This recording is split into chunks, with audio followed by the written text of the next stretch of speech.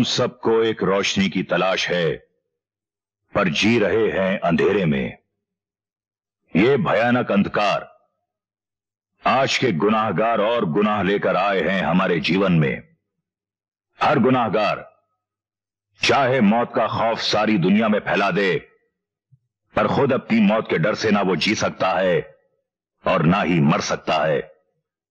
इसलिए वो चेहरा बदलकर, एक के बाद दूसरा दूसरे के बाद तीसरा, गुनाह पे गुनाह करता चला जाता है, क्योंकि उसके अंदर की इंसानियत मर चुकी होती है। हर युग में किसी भी नाम से कोई ना कोई इस अंधेरे में रोशनी लाने के लिए जन्म लेता है, और इस युग में आया है, रईस ज़्यादा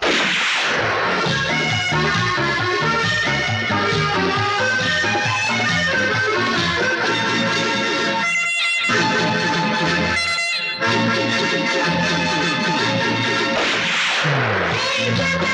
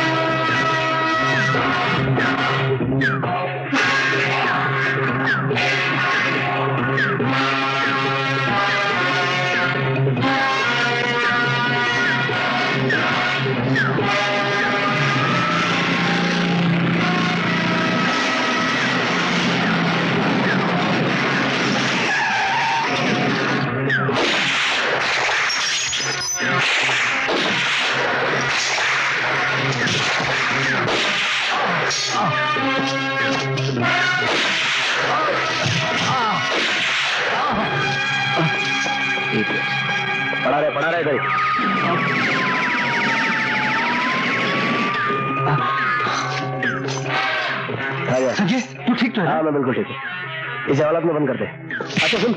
आज रात का खाना तेरे साथ है। संभव जो तू सुधरेगा इंस्पेक्टर राव कुत्ते को भी जॉन ठोकर मारा था ना? कुत्ता उनका काटत है। और हम तो इंसान हैं। वो भी जहर भरे इंसान। नाम मुन्ना ठाकुर। इंस्पेक्टर आओ। हम तो का काटे बगैर नहीं छोड़ा। नहीं छोड़ा राव नहीं छोड़ा। किसने भेजा था तुझे मुझे गोली मारने के लिए? आओ खोल। किसका आदमी है तू? है इंस्पेक्टर आओ। तू मुन्ना ठाकुर को ऐसन पूछा था जैसन पाठशाला में मास्टरवा तू का समझा था तू समझा था कि तू पूछेगा तो हम बता देंगे। नहीं हम मालिक का पता नहीं बताएँगे। आप नहीं बताएँगे इंस्पेक्टर राव नहीं बताएँगे। लगता है तू किसी बड़े कुत्ते का पिल्ला है। जब तक रिमांड पे नहीं लूँगा मानेगा नहीं। रात को तैयार रहना आऊँगा। हवलदार दरवाज़ा बंद करो। जा इंस्पेक्टर राव जा तुम्हारी अम्मी जान कैसी है सब ठीक है। हमारा सलाम कहना। ज़रूर। जैसा बातें होंगी मैं अभी आई। जी।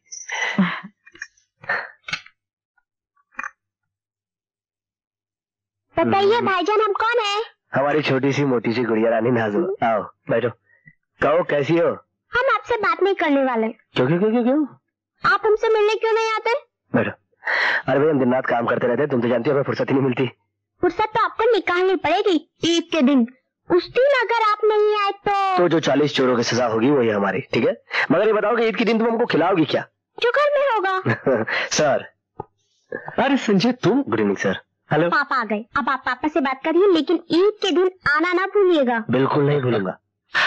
प्रॉमिस नया प्रॉमिस सर बैठो। थैंक यू सर एक अपराधी है मुन्ना ठाकुर। जुर्म की दुनिया का अहम मोहरा है। हाँ, हाँ। बड़ा ढीठ आदमी है। हम्म। मुझे लगता है ऐसे ज़ुबान नहीं खुलेगा इसलिए कम से कम सात दिन का रिमांड लेना चाहता हूँ। अरे भाई तुम्हारे तो चर्चे हैं पुलिस डिपार्टमेंट में। तुमने जिस मुजरिम के लिए वक्त मांगा है ठीक ही मांगा होगा। कितने दिन? सात दिन। सात दिन शुक्रिया सर। बहुत बहुत शुक्रिया। ओके। थैंक्स हाँ, तुम कहाँ थे इतनी रात गए? पुलिस स्टेशन फ़ोन किया? वहाँ से तुम जा चुके थे। कहाँ थे बोलो? अरे माँ सांस तो लेने दो। तुम तो इस तरह सवाल करती हो जैसे कोर्ट में किसी मुजरिम से सवाल कर रही हो। पहले ये बताओ तुम कहाँ थे? जज मुश्ताक अंकल किया गया था किसी इमरजेंसी केस के लिए। डैडी का है? तुम्हारे डैडी हैं। दुनिया भर का दफ्तर में काम।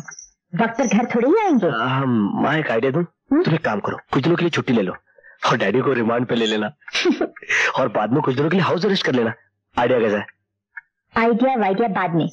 पहले हाथ मुँह धोकर खाना खा लो। हाँ ये बेटर आइडिया है। बहुत भूख लगी है।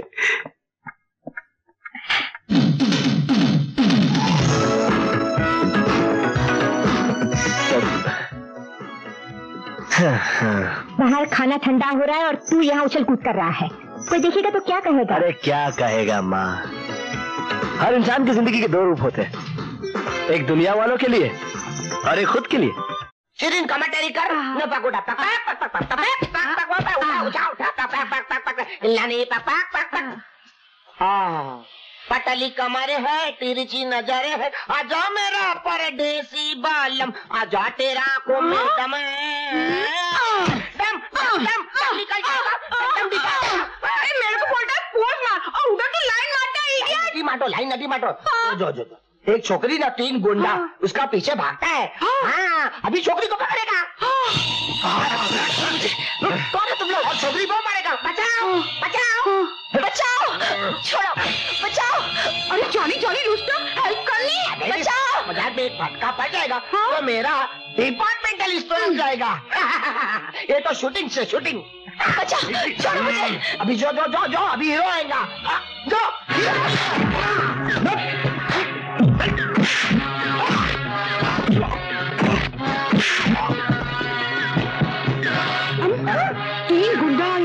आएँगे पिचू को आएगा पिचू से नहीं कैसे आएगा पुलिस आएगा करता है साला? क्या करता है साला? साला एक दंड पड़ेगा तो तुम्हारा खोपड़ी में भेजा है। टुकड़ा टुकड़ा बाहर निकलेगा साला। समझता क्या है? क्या हो गया मैम साहब? हवलदार साहब इसे गिरफ़्तार किया अरे गिरफ़्तार करने के लिए तो हमारा साला हमारा जो डंडा है ये डंडा एक गुंडा खाता है तीन दिन गुंडा बाहर निकलता है। हवलदार साहब आपके पास क्या प्रूफ है कि आपने इसको छेड़ा है? क्या? साला कानून का बात करता है। पॉइंट पकड़ के चलता है साला। है? प्रूफ चाहिए? प्रूफ ओए ओए जोनी हवलदार पर ओए ओए चिल्लाता है। ओए ओए। हाँ। साला हवादार भी ठीक है देखा है हाँ। ओए रे। नहीं नहीं नहीं नहीं जवाड़े जवाड़े जवाड़े जवाड़े आओ आओ आओ आओ आओ। बाय बाय अरे थम अरे बाप रे। पीछे मुड़। दाएँ से तेज चल। दाया बाया दाया बाया औड़े साला हाथी लगता है मरा सुन लगता है। विश्राम। आराम। इधर जो गड़बड़ हो गया तुम देखा है तो? हाँ हाँ देखा है देखा है। हाँ देखा है। है। हाँ देखा है। नहीं नहीं नहीं नहीं नहीं। देखा है? हाँ देखा है। बोले थे रुस्तम अभी तुम पुलिस स्टेशन में चलो। चलो। मैम साहब तुम भी चलो। तुम जाओ मैं कपड़े बदल के आती हूँ। अच्छा। है चलो। ए क्या बात है हुसैन मियाँ? बहुत देर हो गई सोनम अभी तक नहीं आई। आती होगी हुजूर। ये लीजिए ना आ भी गई वो। अरे गुड मॉर्निंग हुसैन चाचा। क्या बात है बिटिया बहुत देर लगा दी आज। अरे आपको नहीं पता आज क्या हुआ। आज सीपीस के सामने चार हुंडों ने मुझे खेल लिया। और फिर होने लगी हाथापाई। अगर मुझे जूडो कराटे आते तो एक को यू एक को यू सीधा फ्लैट कर देती। बेटी कितनी बार तुमसे कहा कि इतनी दूर मत छाया करो। हम्म, उसके आगे तो सुनी क्या हुआ? फिर एक सुपरमैन आया। उसने जो ढिशुम ढिशुम स्टार्ट की एक इधर गिरा एक उधर गिरा एक सीधा भागा और वो उसके पीछे भागा। वो वो सुपरमैन कौन था भाई? ये था वो सुपरमैन। अच्छा अच्छा तस्वीर भी दे गया है? हम्म। हाँ? अरे भाई हमें भी तो दिखाओ। अरे वाह, देखते- क्या दिखाओ। खूबसूरत सुपरमैन। अरे। ये तो अपना संजू है इंस्पेक्टर संजू। डीएसपी अमर सिंह का लड़का। इंस्पेक्टर हाँ। तभी तो मैं सोचा इतना स्टाइल इतना कॉन्फिडेंस आम आदमियों में कहा होता है। डैडी मुझे भी पुलिस इंस्पेक्टर बनना है। अच्छा अच्छा बन जाना। प्रॉमिस हाँ। बाय कमाल करते हैं कमिश्नर साहब। आपने भी हाँ कह दी। उसकी उम्र थानेदार बनने की नहीं है। थानेदार नहीं बनने की है। उसके हाथों में मेहंदी रचाई जानी चाहिए। उसके हाथ मुजरिमों को हथकड़ियाँ पहनाने के लिए नहीं है। ठीक कहते हो हुसैन मियाँ अब तुम्हें बताओ हम क्या करें। अरे करना क्या है? अमर सिंह साहब से बात कर लीजिए। चट मंगनी पट गया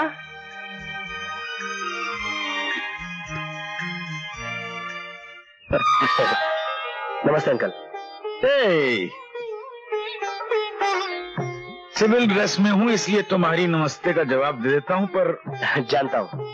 ऑफ़िस में होता तो आपको सल्यूट करना पड़ता। वैसे मैंने अपने खानदान की परंपरा को कायम रखा है। जैसे डैडी मुजरिम और गुनहगारों के दुश्मन है। वैसे ही मैं भी। सिर्फ़ दोनों का काम करने का अंदाज अलग अलग है। वरना इस मामले में हम दोनों रईस हैं।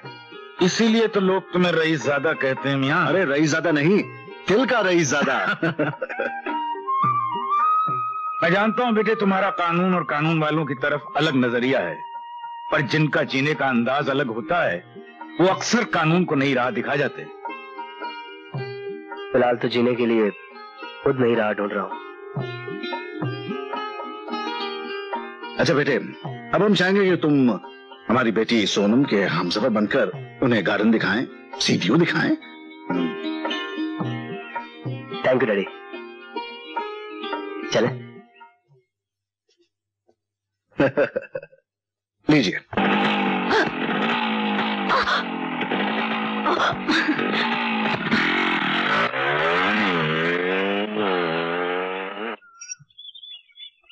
नजारे देख रही हो या कुछ सोच रही हो? हा? क्या सोचूँगी? कहीं वही तो नहीं। जो एक लड़का लड़की को कहने से पहले सोचता है। इसमें सोचने की क्या बात है? एक को तो आगे बढ़ना ही पड़ता है। अच्छा। और कह देना होता है क्या?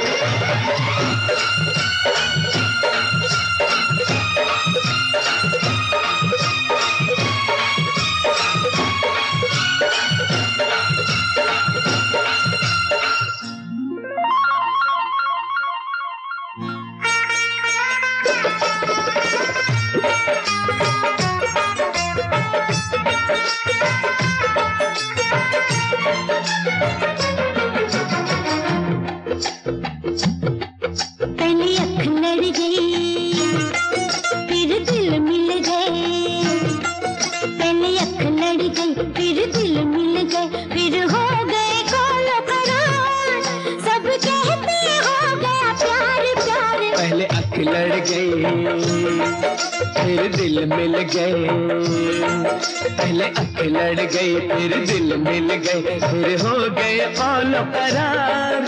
सब कहते हो गया प्यार प्यार। पहले अख लड़ गई, फिर दिल मिल गए पहले अख लड़ गई।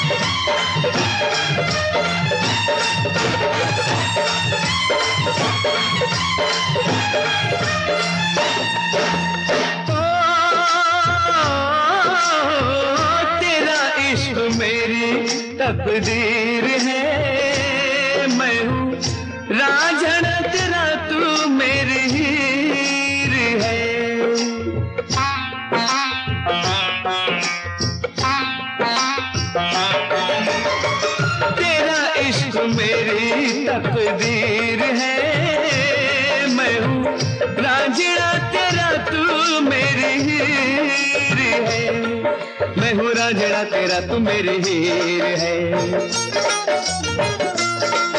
अब ना करना इनकार, मुझे तुमसे हो गया प्यार प्यार। पहले अख लड़ फिर दिल मिल गए पहले अख लड़ फिर दिल मिल गए फिर हो गए करार, सब कहते हो प्यार लड़ गई फिर दिल मिल गए फिर हो गए सब कहते हो गया प्यार प्यार पहले अख लड़ गई फिर दिल मिल गए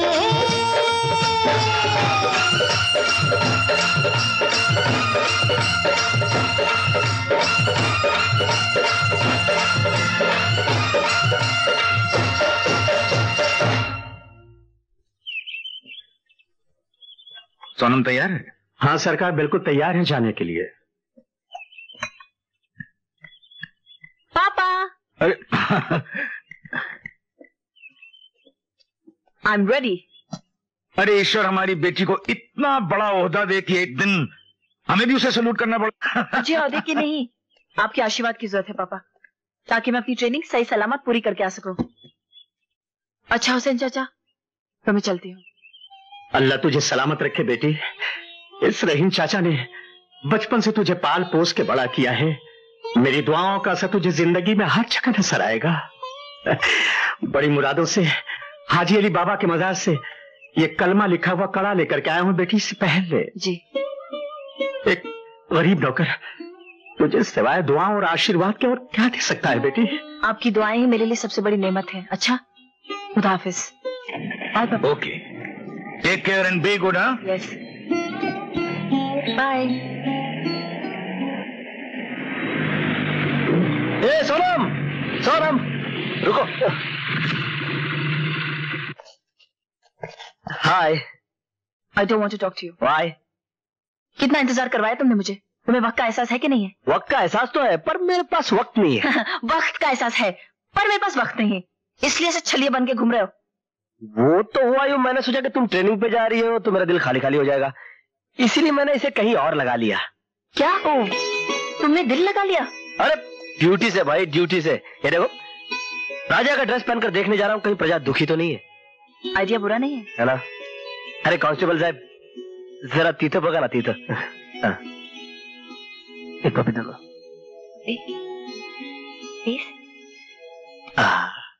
मटर जी। चलो हम जाएगा। गुड नाइट तुमको घर नहीं जाने का? हम केदार में घर जाएगा। क्यों? हम तो जीवन में एक तो है अकेला। हमारा कोई नहीं है। तो शादी काय को नहीं करता? शादी किससे करेगा? लड़की से करो।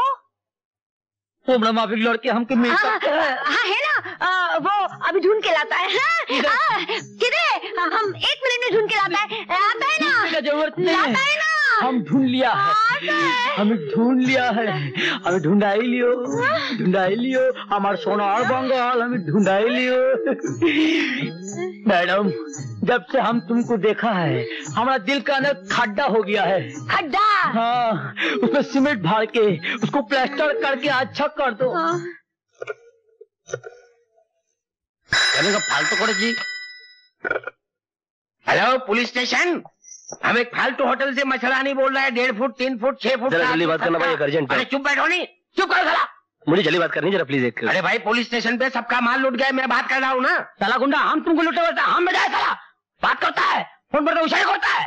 अरे भाई साहब एक जमाना हुआ करता था कि पुलिस क्लाइमेक्स में पहुँच जाती थी आजकल तो दिए एंड पर भी नहीं पहुँचती अगर इन लोगों का माल लूट गया है और आप चाहते हैं इनका माल वापस मिल जाए तो आप इन लोगों को पुलिस चौकी लेकर जाइए और मुझे फ़ोन करने दीजिए अरे बड़ी पुलिस स्टेशन पे कैसे लेके जाएगा हमारा कोई जान पहचान नहीं तुम्हारा जान पहचान है तो नहीं जाओ जान पहचान तो है मगर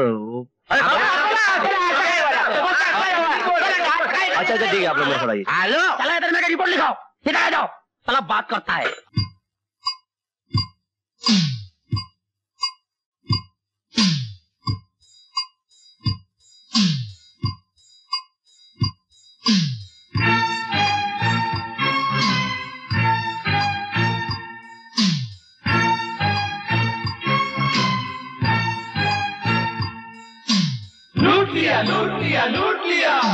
किसने किसने किसने? गुंडों ने गुंडों ने गुंडों ने कैसे कैसे कैसे?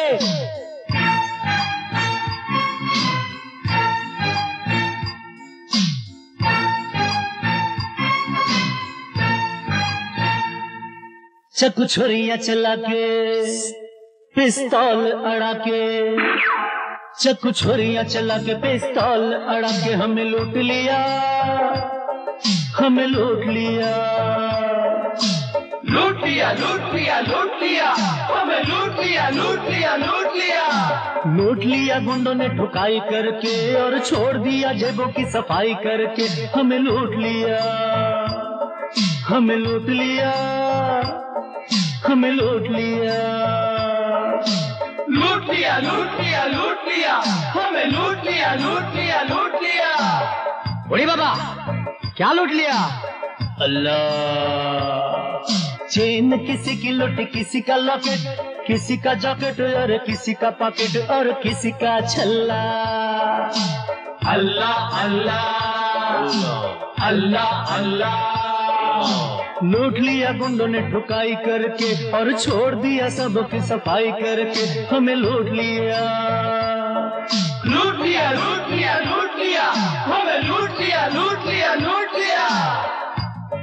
अरे दांत मेरा तोड़ा। मोहे गंजा करके छोड़ा। नोट मेरे जेबों के आरे। अरे बाबा आरे नहीं आरे नहीं सारे।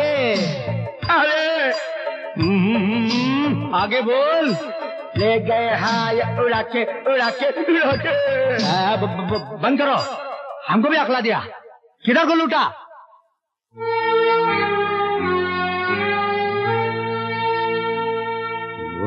लूट लिया।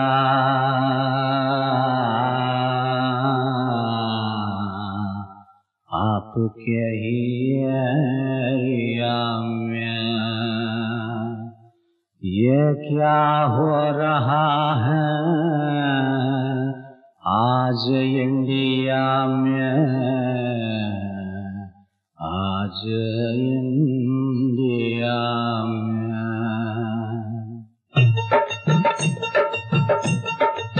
मुश्किल है शरीफों की गुंडों का जमाना है गुंडों का जमाना है। मुश्किल है शरीफों की गुंडों का जमाना है गुंडों का जमाना है। ये थाना है थाना है थाना है थाना है थाना है थाना है। हम्म, पास तभी तो आज तुम्हारे लाए इनको।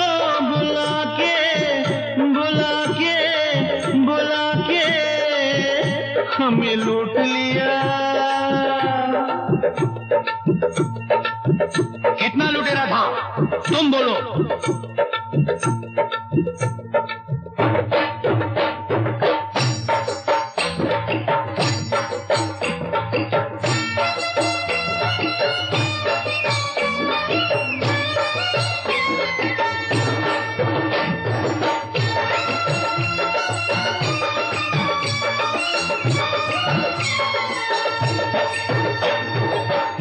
जिए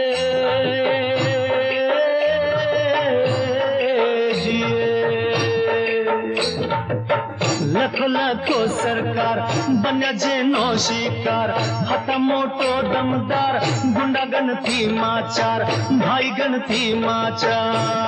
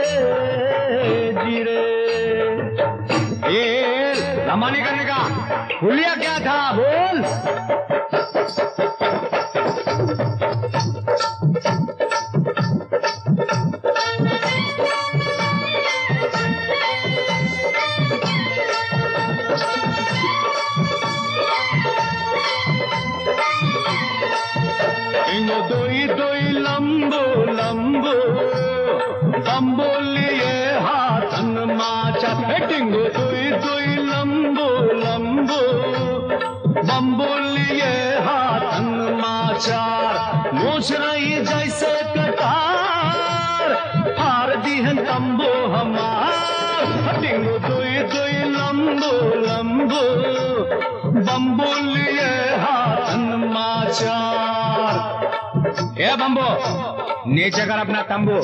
ये नवाब आपने की हिसाब। नवाब नहीं हुजूर छोटे कबाब। छोटे कबाब। छोटे कबाब। हम्म, हम्म, हम्म, आगे बोल।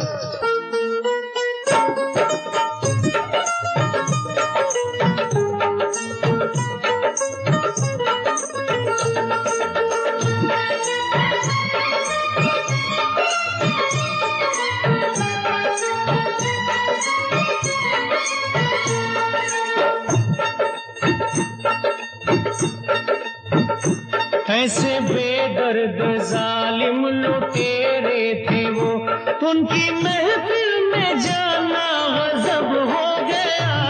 गजब हो गया गजब हो गया। हम तो फनकार हैं फन के मारे हुए। हाय गाना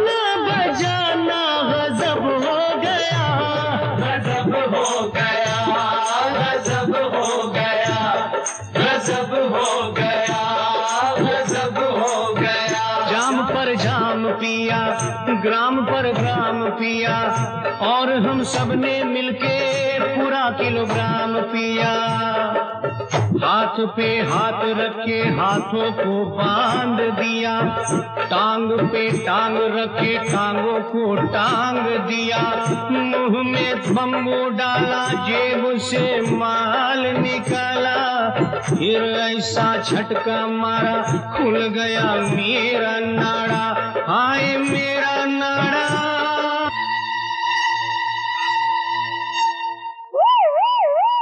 आदमियों का औरत बोलता है।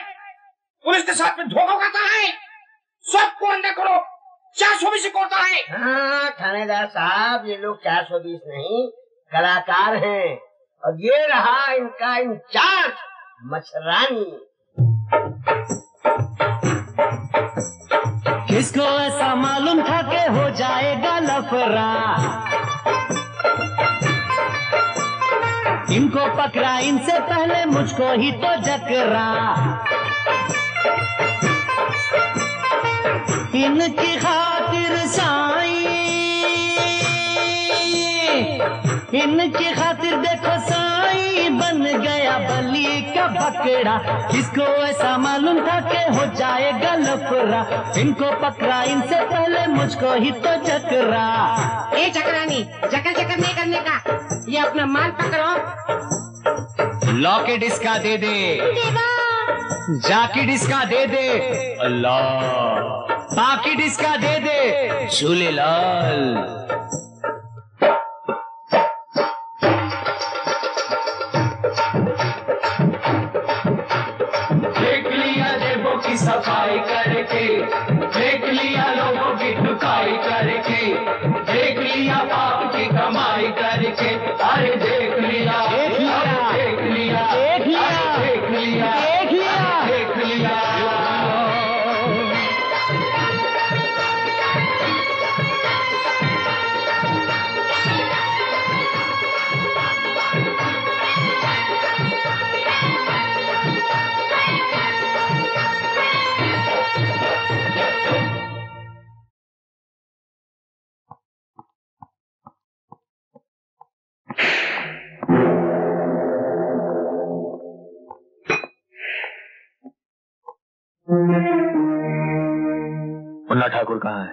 लॉकअप है सर लॉकअप में? लेकिन सर शट अप तुम बातें बड़ी बड़ी करते हो लेकिन तुमसे होता कुछ नहीं। ये मत भूलो इंस्पेक्टर। तुम जिस कुर्सी पर हो हमारी जूतियों के सदके से हो वैसे मुझे लगता है तुम इस काबिल रहे नहीं।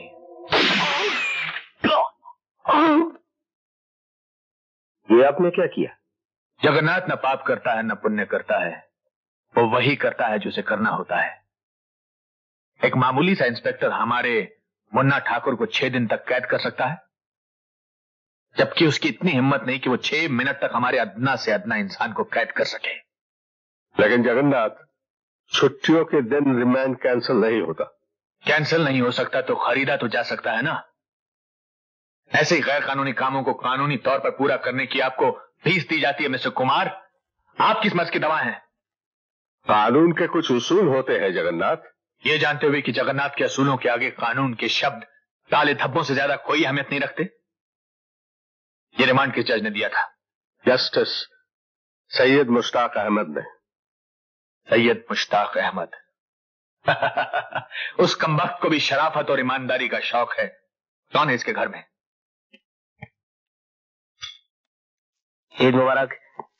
ईद मुबारक हो आंटी। ईद मुबारक हो अंकल। नाजो कहाँ है। मैं आज खास तौर पे उसे ईद की मुबारकबाद देने के लिए आया हूँ। आप कुछ बोलते कि नहीं अंकल? बेटा उन बदमाशों ने मेरी बच्ची को अगवा कर लिया है। और उनकी शर्त यह है कि जब तुम मुन्ना ठाकुर को छोड़ दोगे तभी वो नाजो को रिहा करेंगे। अब ऐसे कैसे हो सकता है? ऐसे किसी खतरनाक मुजरिम को कैसे छोड़ सकते हैं? आप ही ने तो उसका रिमांड दिया था। ऐसा मत कहो बेटा। वो जालिम मेरी नाजो को मार डालेंगे। इन्हें इन्हें तो अपनी देख नामी और औहदे की पड़ी है। लेकिन लेकिन मेरी ज़िंदगी, मेरा सरमाया मेरी बच्ची है, मेरी नाजो है। अल्लाह के वास्ते, मुन्ना ठाकुर को, मुन्ना ठाकुर को छोड़ दो। और मेरी नाजो को ले आओ, मेरी नाजो को ले आओ। सबसे काम लो बेगम सबसे हेलो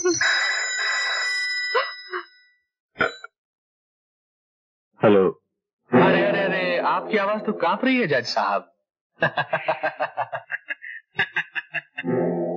मुन्ना ठाकुर चाहिए वापस ज़िंदा। वरना तुम्हारी प्यारी सी बच्ची को मैं क्या सुनो। मुन्ना ठाकुर तुम्हें ज़िंदा मिल जाएगा। गुड वेरी गुड बहुत जल्दी फैसला किया तुमने। शायद इसलिए तुम एक कामयाब जज हो।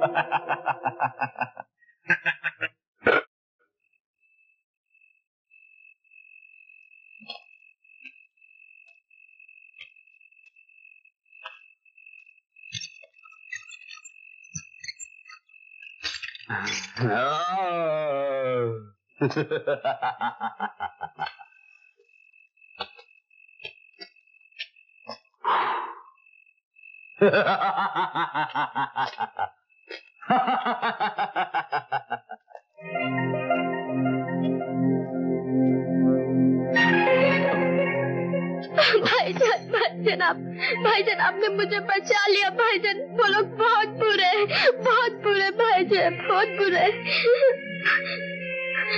उन्होंने उन्होंने मेरे साथ क्या किया उन्होंने तुम्हारे साथ हाँ? क्या किया उन्होंने तुम्हारे साथ हाँ? Nazneen Nazneen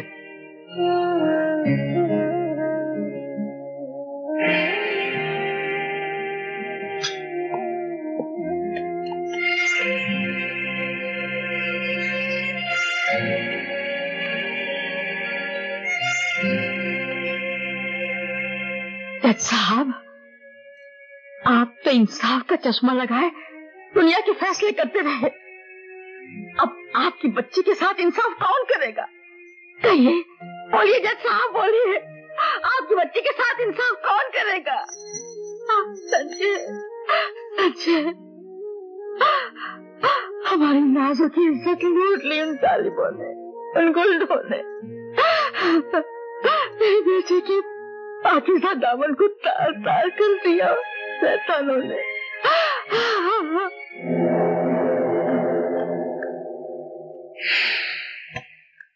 Hello Sanjay Singh here hello inspector फरमाइए। सेठ जगन्नाथ मुझे वो बदकार दरिंदा चाहिए जिसने जज सैयद मुश्ताक अहमद की बेटी की इज़्ज़त लूटी है। इसके बदले मुझे क्या मिलेगा? इसके बदले में मैं तुम्हें तुम्हारे कॉन्फिडेंशियल पेपर्स दे दूँगा। That's like a good boy तो ठीक है शाम को मिलते हैं। लेकिन याद रखना सिर्फ़ मैं और तुम। ठीक है।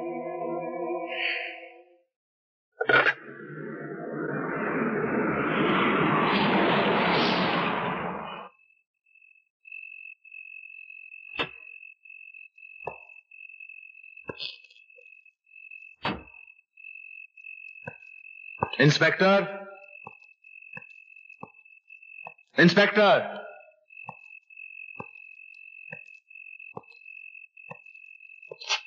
inspector inspector Sanjay Singh Jagannath. Revolver मेरे पास भी है। मेरे पेपर्स लायो मेरा मुजरिम? तुम्हारे मुजरिम की लाश मेरी गाड़ी में पड़ी है। लाश? मैंने तुम्हें उसे ज़िंदा लाने के लिए कहा था। ताकि तुम मालूम कर सको कि जगन्नाथ क्या है। देखो जगन्नाथ ना पाप करता है ना पुण्य करता है। वो सिर्फ़ वही करता है जो उसे करना होता है। जगन्नाथ मैं तेरे इस खिनौने चेहरे को दुनिया वालों के सामने नंगा कर दूँगा ताकि वो जान सके कि तेरी असलियत क्या है।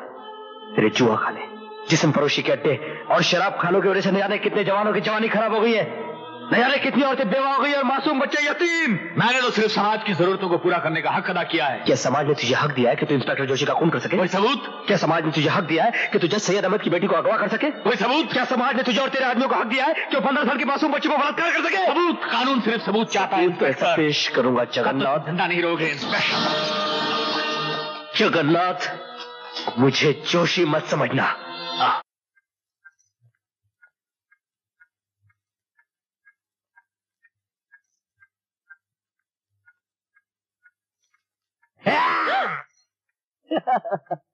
चोरों की तरह तू अंदर कैसे घुस आया? ऐसे ये कब बनवाई?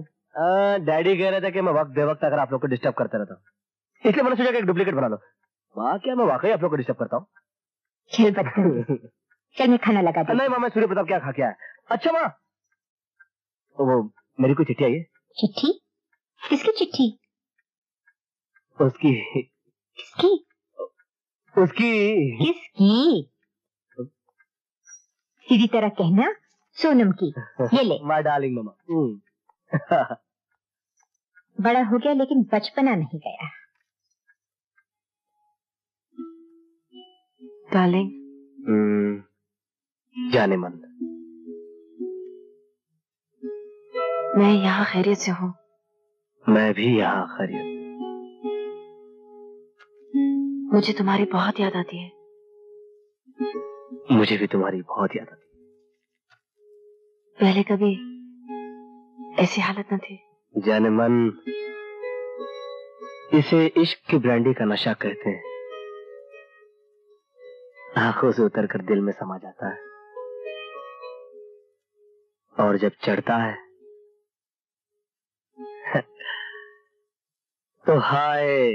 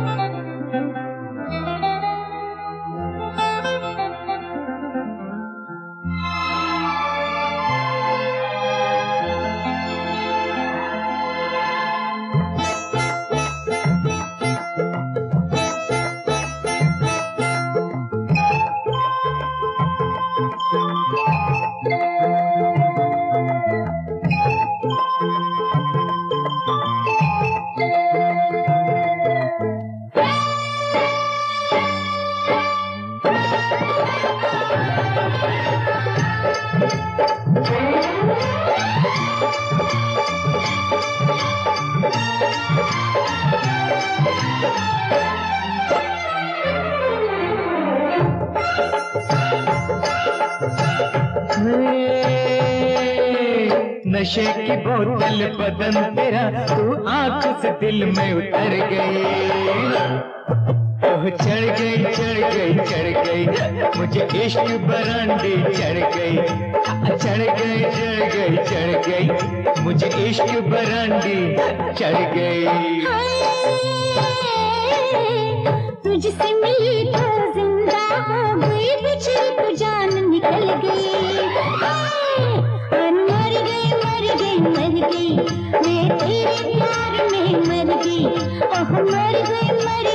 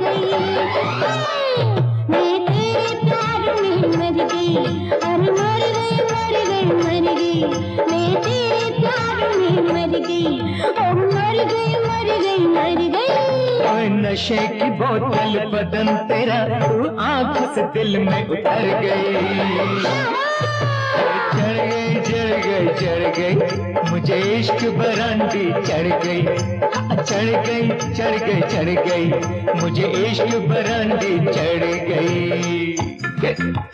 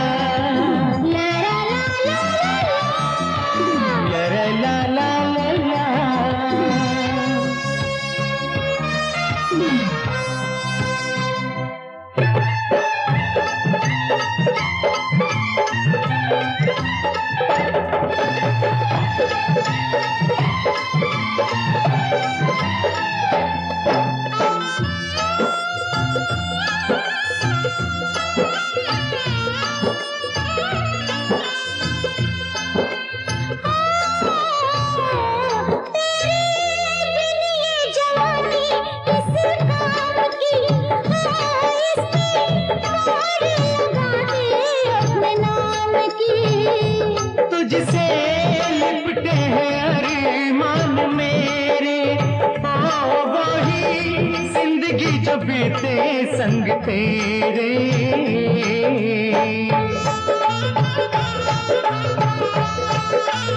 Thank you.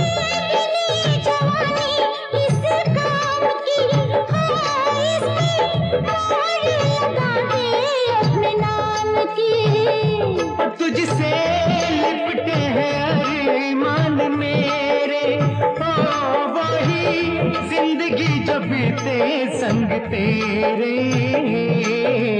देख के तुझको जान जिगर नहीं जान बदन में पड़ गई।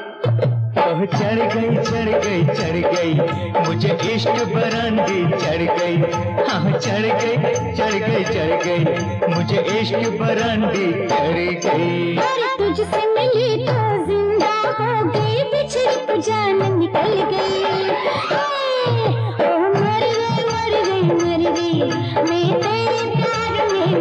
गई ओ मर गई मर गई मर गई मैं तेरे प्यार में मर गई। नशे की बोतल बदन तेरा तू आँख से दिल में उतर गई। चढ़ गई चढ़ गई चढ़ गई। मुझे इश्क बरांडी चढ़ गई मुझे इश्क बरांडे चढ़ गई। मुझे इश्क बरांडी चढ़ गई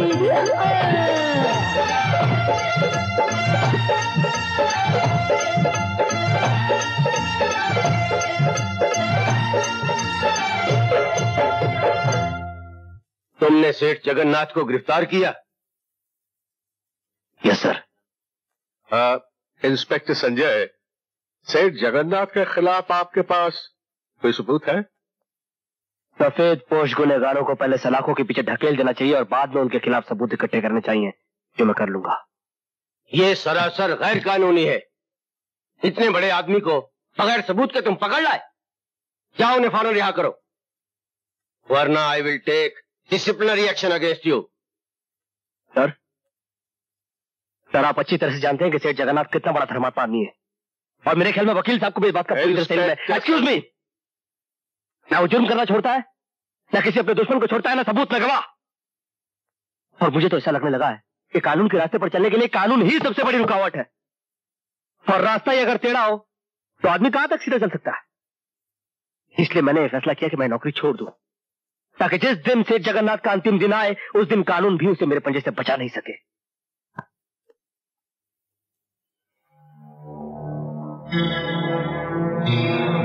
ये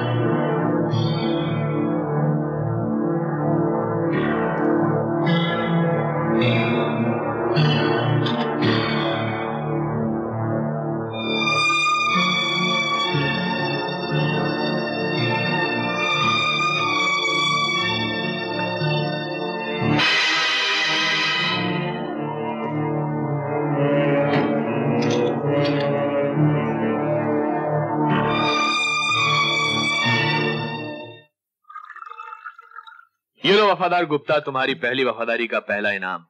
वफादारी करते रहोगे तो इनाम मिलते रहेंगे वरना इनाम मिलते रहेंगे तो वफादारी होती रहेगी वरना good good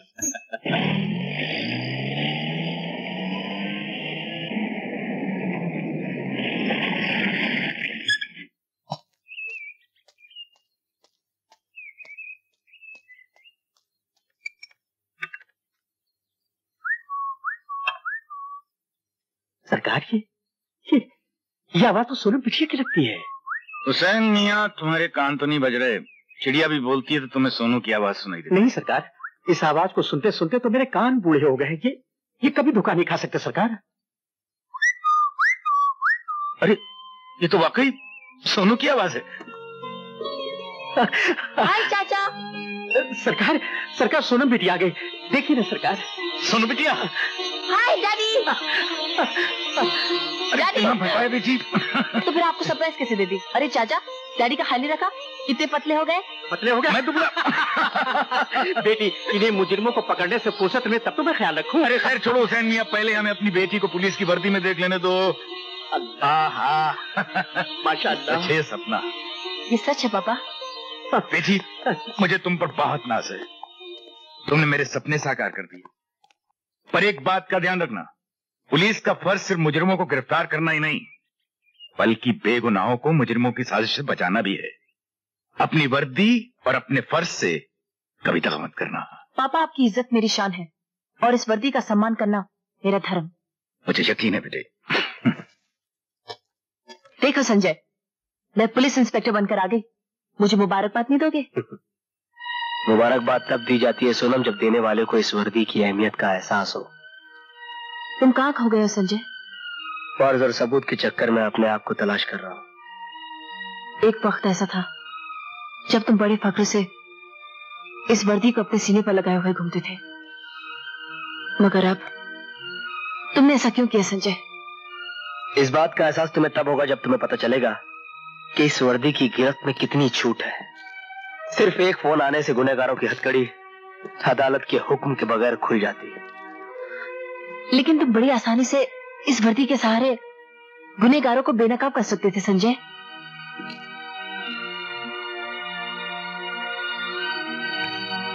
All the best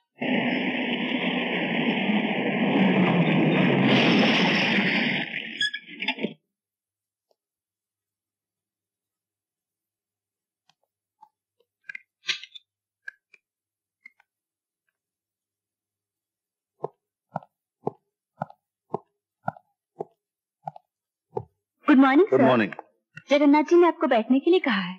thank you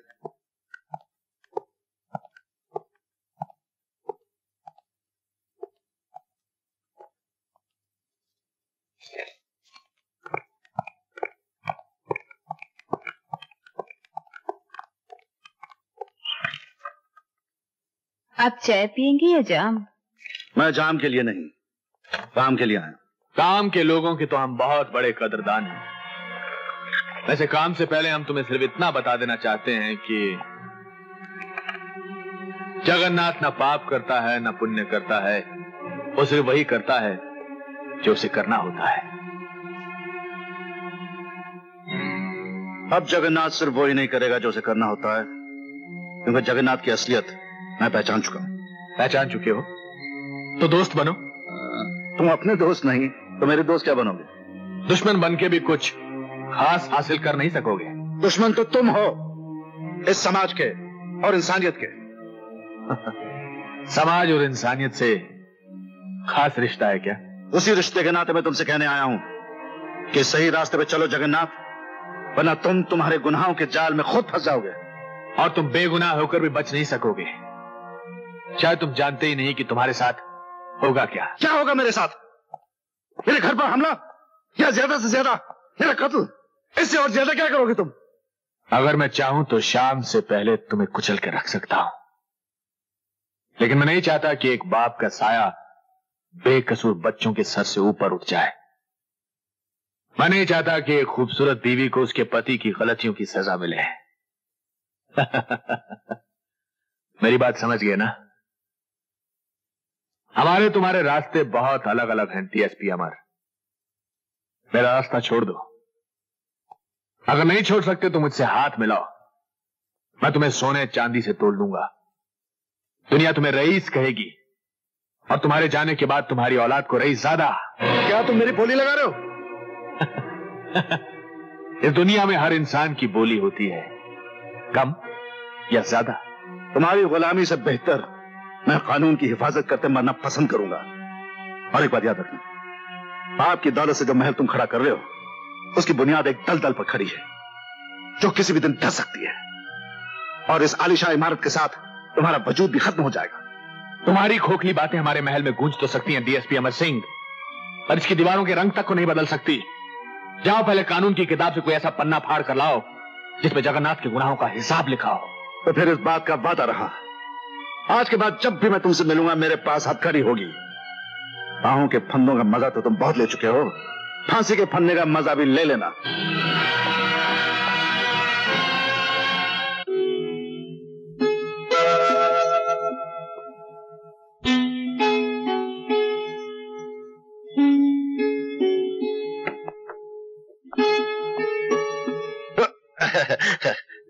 अमर रहेगा तेरा सुहाग, ये मैं आशीर्वाद देता हूँ।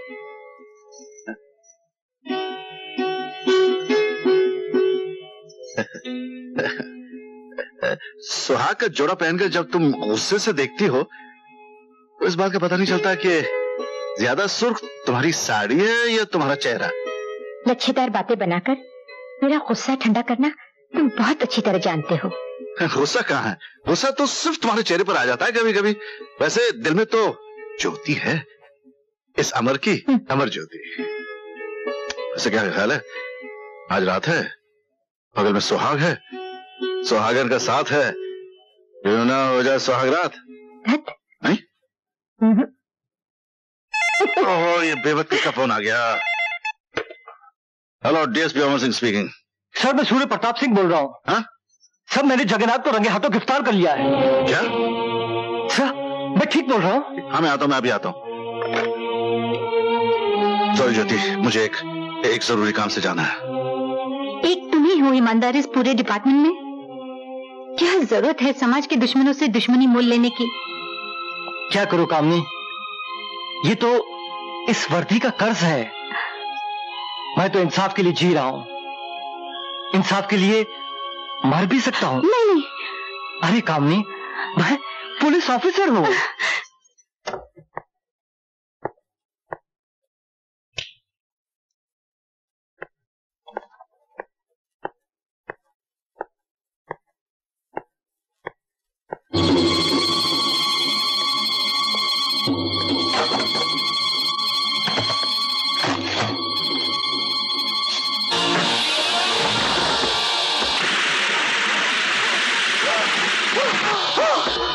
देख ली मुन्ना ठाकुर की करतूत।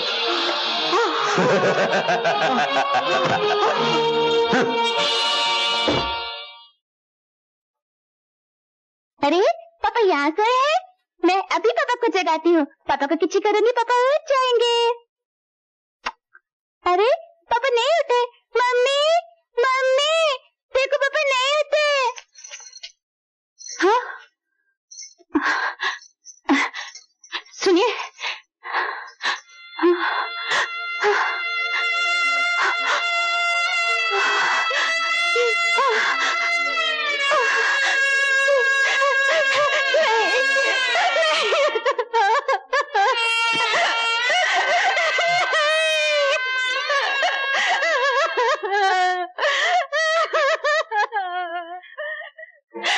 मैं आपसे सिर्फ़ इतना कहने आई हूँ। कि वो अर्थी एक ईमानदार और वफादार पुलिस अफसर की नहीं, कानून की है, जो कानून की रक्षा करने वालों की भी रक्षा नहीं कर सकता।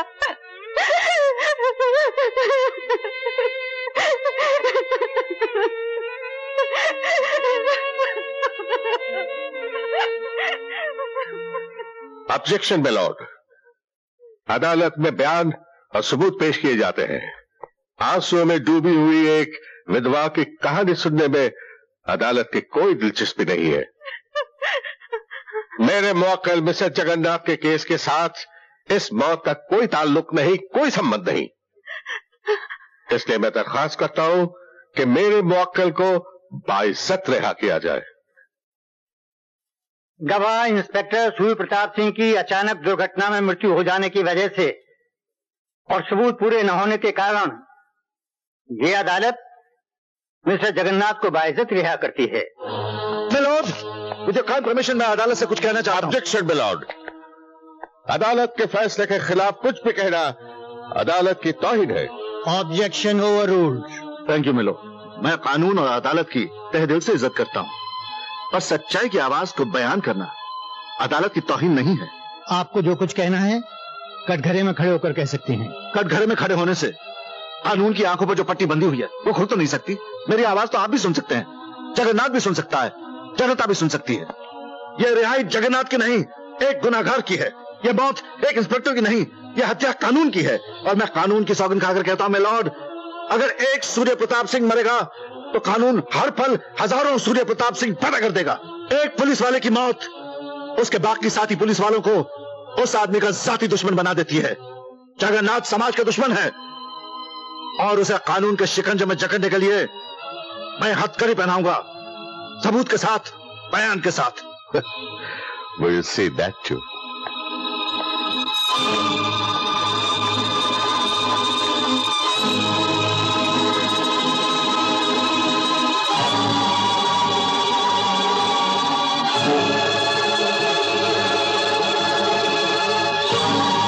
चिल्लाने से तुम्हारी आवाज़ इन कानून की दीवारों से टकराकर गूंजेगी तो ज़रूर। पर जगन्नाथ का बाल भी बांका नहीं कर सकेगी। कुछ लोग कानून को अंधा समझते हैं लेकिन मैं उसे बहरा और अपाहिज भी मानता हूँ। गुड बाय अमर तुम? ये कानून की बड़ी बड़ी किताबें कोर्ट कचहरी की लंबी लंबी दलीलें वर्दी सबूत हथकड़ी इन सबको अपने जूतों की नोक पर रखते हैं। जगन्नाथ जैसे मुस्लिम लोग। ज्योति कभी कभी तो जी चाहता है कि जगन्नाथ जैसे मुस्लिम लोगों को गोली से भून दूँ। उसके बाद चाहे फांसी भी लग जाए, इस बात का गम नहीं होगा। फिर आप में और उस गुनेगार में क्या फ़र्क रह जाएगा? जगन्नाथ के लिए कानून तोड़ने का कोई कानून नहीं है। पर कानून बरकरार रखने के लिए आपके पास बहुत से कानून है। यही वजह है कि आपके लिए वर्ती है और उसके लिए हथकड़ी। उसने सबूत मिटा दिया। आपकी गवाह की ज़ुबान बंद कर दी। आप उसके आदमी को अपना गवाह बना के कटघरे में खड़ा कर दीजिए जो उसके खिलाफ अपनी ज़ुबान खोल सके।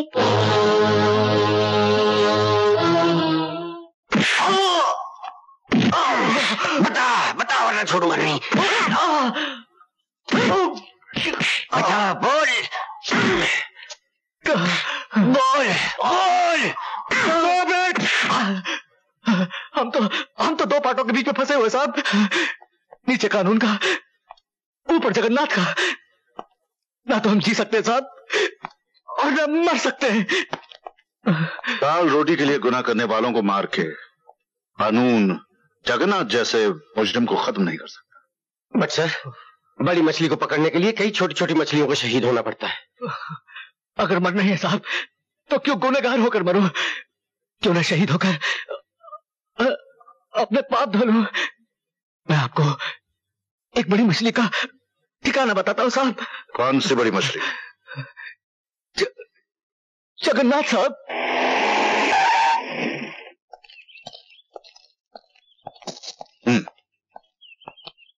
हाय अमर ये क्या है? आप ऑर्डर इशू कर दीजिए सर। अब जगन्नाथ का सर्वनाश मुझे ही करना होगा। तुम तो जानते हो हमारे इस यही ना। कि जगन्नाथ का खौफ समाज के साथ साथ पूरे पुलिस डिपार्टमेंट पर छाया हुआ है। वो हर उस पुलिस वाले को मौत के घाट उतार देता है, जो उसके खिलाफ आवाज़ उठाता है। यही तो वजह है कि हमारा डिपार्टमेंट भी इस केस में हाथ डालने से कतराता है। एक जोड़ी वर्दी और एक भरी पिस्तौल से उस हैवान का मुकाबला नहीं किया जा सकता, जिसके पीछे पैसा और सफ़ेद पोश वालों की ताकत है। तभी तो मैं ये साबित करना चाहता हूँ, सर, कि जब ये वर्दी बेदर्दी से पेश आती है तो बड़े बड़े जगन्नाथ जैसे ताकतवरों की अर्थी उड़ जाती है। अमर, तुम्हारा ये जज्बा हमारे पुलिस डिपार्टमेंट में एक नई जान और एक नया जोश पैदा कर देगा। उनमें एक नया हौसला पैदा होगा। मैं और पुलिस डिपार्टमेंट तुम्हारे साथ हैं। All the best thank you sir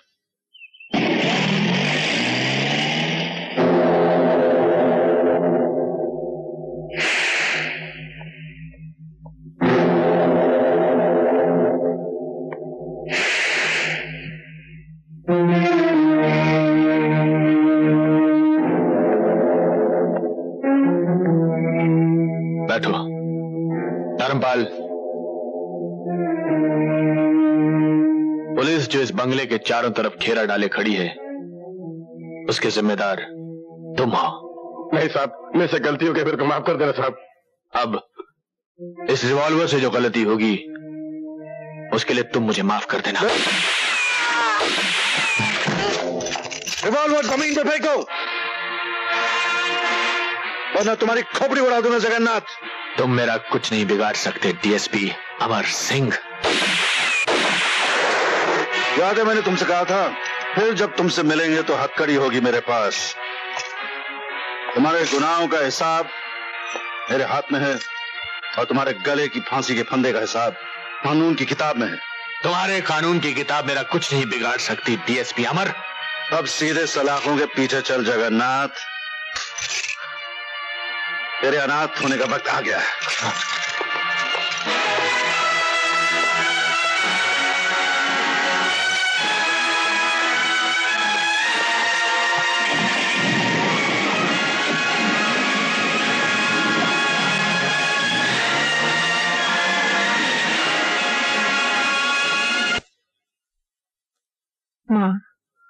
आज हमें पुलिस डिपार्टमेंट का सबसे बड़ा मेडल मिला है। तुमने तो माँ, मेरी झोली में खुशियाँ भर दी है।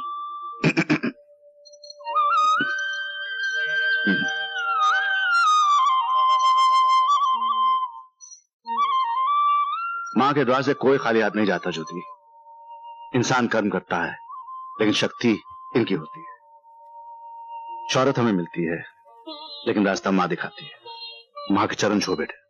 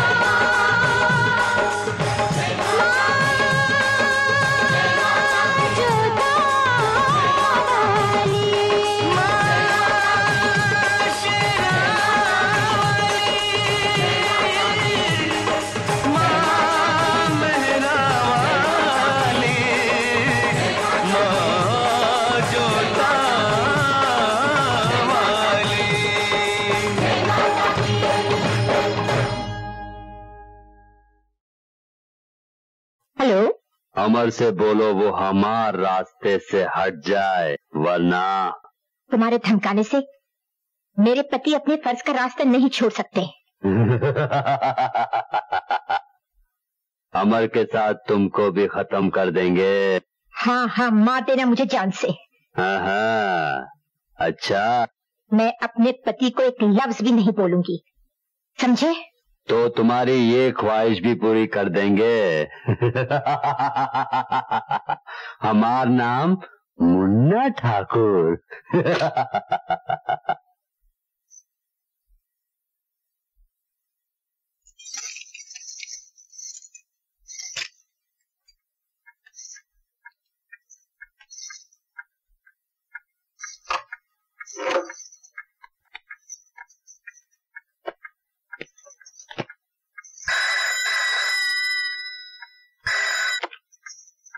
Hello hello hello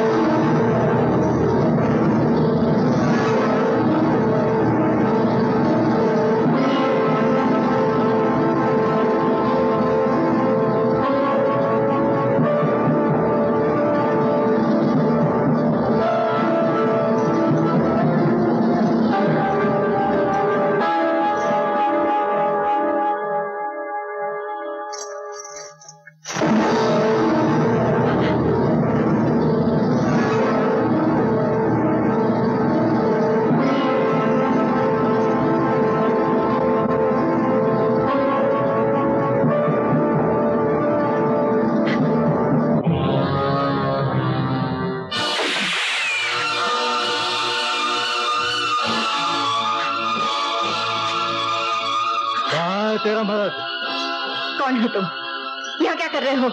तेरे मर्द की करने की तुझे सजा देने आए हैं। तो सब बता कहाँ तेरा मर्द अगर ज़िंदा रहना चाहती है। खबरदार चले जाओ यहाँ से। चले तो जाएँगे पर खाली हाथ नहीं। तुझे या तेरी लाश को साथ लेके जाएँगे।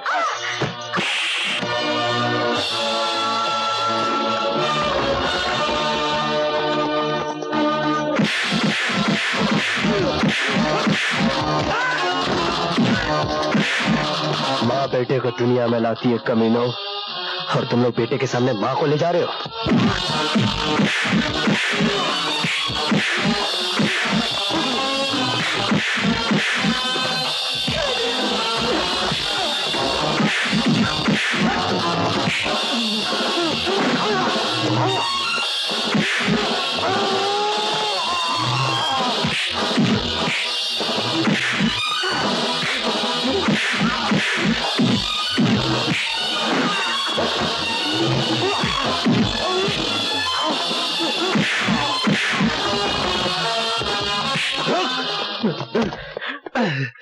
आदमी है तू। मैं नहीं जानता। बोल तेरा बाप कौन है? मैं नहीं जानता। कुत्ते की औलाद होकर अपने बाप को नहीं जानता। बता पता। था बता पता था वो। बता बता जगन। बता जगन। जगन। बोल। जगन।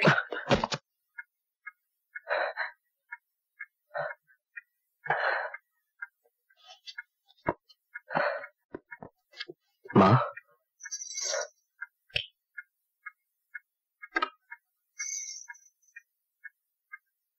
क्या हुआ बेटे? क्या हुआ ज्योति को? आपके कानून का इनाम मिला है पापा। इनाम? कैसा इनाम? ये जानने से पहले आपको मेरे कुछ सवालों का जवाब देना होगा पापा। हाँ? क्या मेरी माँ कानून की सरपरस्त नहीं है? हैं? तो क्या ये कानून की ज़िम्मेदारी नहीं थी कि वो मेरी माँ की हिफाजत करता? थी। तो फिर उन गुंडों ने मेरी माँ को घायल कैसे कर दिया? कानून एक आग है बेटे। उससे खेलने वाला गुनाहगार होता है। और कभी कभी आग की लपटों से बचाने वाला भी चल जाता है। और जिसका अपना जिस्म चलता है वो आदमी खुद एक आग बन जाता है पापा। और जिस दिन एक शरीफ आदमी मशाल लेकर निकलता है उस दिन या तो नई क्रांति आती है या चारों ओर अनगिनत चिताएँ जलती हैं। संजय फिर तुझ में और उन गुनहगारों में क्या फ़र्क रह जाएगा? वो लोग कानून से खेलते हैं और तू गुनहगारों की जान से खेलेगा। और जानता है कानून की नज़रों में दोनों मुजरिम है। मैं इस तरह के कानून को नहीं जानता माँ। और ना ही जानना चाहता हूँ। मेरे लिए मेरे दिल से बढ़कर दूसरी कोई अदालत नहीं। मेरी आत्मा से बढ़कर दूसरा कोई वकील नहीं और मेरे अंदर के फैसले से बढ़कर दूसरा कोई फैसला नहीं। और मैं वही करूँगा जिस बात की गवाही मेरे अंदर की आवाज़ देगी। हाँ बेटे हाँ। ज़रूर करना। लेकिन एक बात याद रखना। ऐसा काम कभी मत करना जिसकी वजह से मुझे तुम्हें हथकड़ी पहनानी पड़े या तुम्हारी माँ को तुम्हें सजा दिलवानी पड़े। मैं कोई भी ऐसा काम करूँ जिससे मुझे मेरी आत्मा निर्दोष समझे तो फिर दुनिया की कोई भी सजा मेरे लिए कोई मायने नहीं रखती।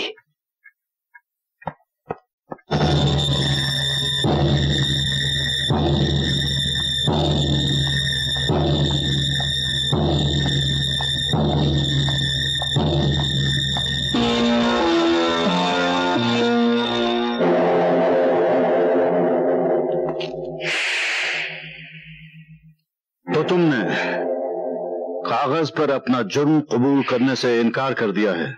डीएसपी शायद तुम नहीं जानते, जगन्नाथ न पाप करता है। न पुण्य करता है। वो सिर्फ़ वही करता है जो उसे करना होता है। अब जगन्नाथ वही करेगा जो कानून चाहेगा। अच्छा? हम्म बोलो।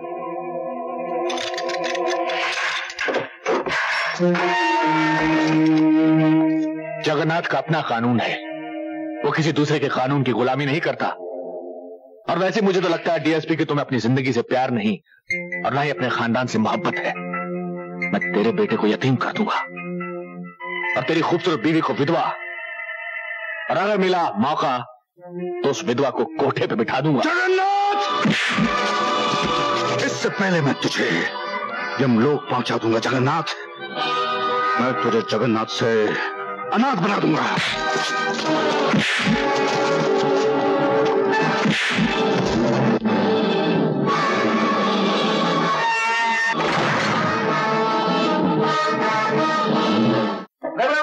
क्या कहा गया। कोई भी ऐसी जेल नहीं जो जगन्नाथ को कैद करके रख सके, समझे? वो तो भाग गया। अरे भाई, कचहरी के अलावा ज़िंदगी में और भी तो चीज़ें हैं। चाय भी तो पीनी पड़ती है। हाँ? पिलाइए पिलाइए। हाँ। मैं देखता हूँ। हाँ। जगन्नाथ! मेरे घर के अंदर आने की हिम्मत कैसे की तुमने? एक बात अच्छी तरह से समझ लो डीएसपी अमर सिंह। जगन्नाथ न पाप करता है न पुण्य करता है वो सिर्फ़ वही करता है जो उसे करना होता है। और वो जो भी करता है अपनी मर्ज़ी से करता है। आज हमारी मर्ज़ी है कि हम किसी की तड़पती हुई लाश देखें। और वो लाश तुम्हारी होगी तो कैसा रहेगा? नहीं नहीं मुझे छल्ली कर दो। मगर इन्हें मत मारो। मैं तुम्हारे हाथ जोड़ती हूँ पैर पड़ती हूँ। देखो छलनी तो मैं ज़रूर करूँगा। लेकिन तुम्हारा जिस्म नहीं तुम्हारा दिल छलनी होगा। इसकी मौत के बाद। और फिर ज़िंदगी भर खून रिस रिस कर गिरता रहेगा और तुम बेवा हो जाओगी। और तुम्हारा बेटा यतीम। तोड़ो इस हरामजादे की।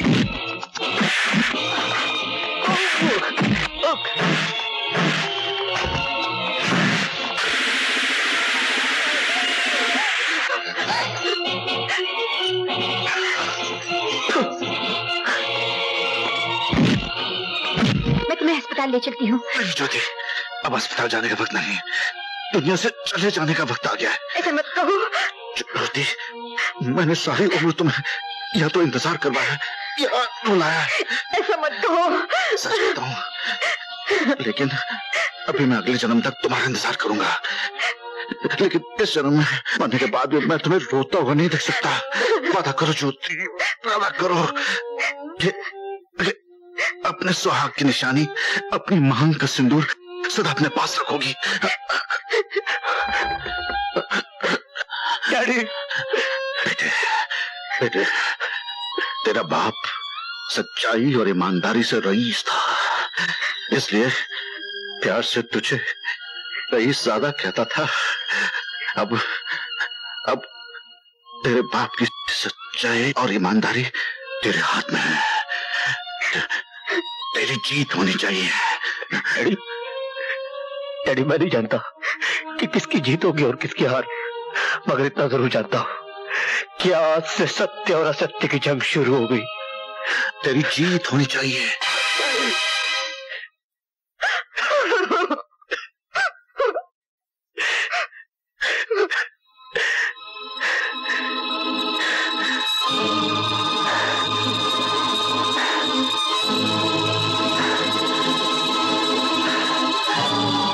अरे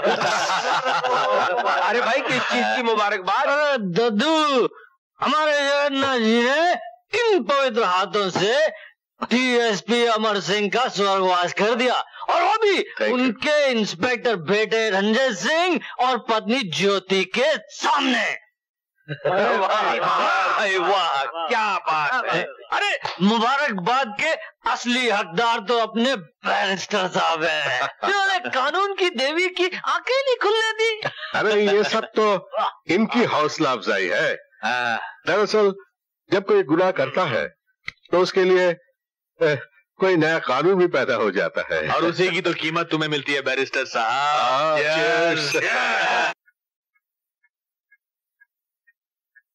जानते हो, जो बात मैं तुमसे कहना चाहता हूँ, उसके लिए मैं तुम्हारे घर भी आ सकता था। नहीं आए। अच्छा किया। क्योंकि अपने घर में मैं आपके दोस्त का बेटा होता और मेरे पिता की मौत के बाद शायद ये रिश्ता आपको रास नहीं आया। इंसान का रिश्ता एक इंसान से कभी नहीं टूटता बेटे।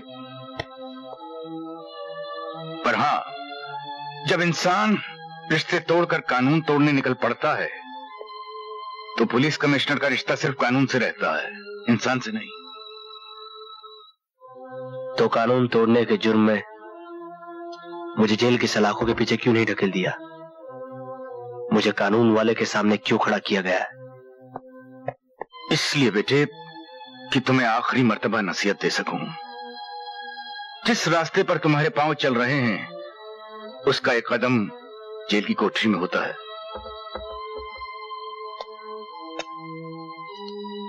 तो फिर जाइए और जाकर उन हैवानों के पैर काटकर उन्हें जेल के सलाखों के पीछे धकेल दीजिए, जिन्होंने धोखे से मेरे बाप के सीने में गोली ठोक दी थी। और अगर ऐसा आपसे नहीं होता तो जाइए जाकर उन सबूतों को इकट्ठा कीजिए। जिसकी बिना पर आप मुझे जेल की सलाखों के पीछे धकेल सके। मगर मेरी एक बात याद रखिएगा, कमिश्नर साहब।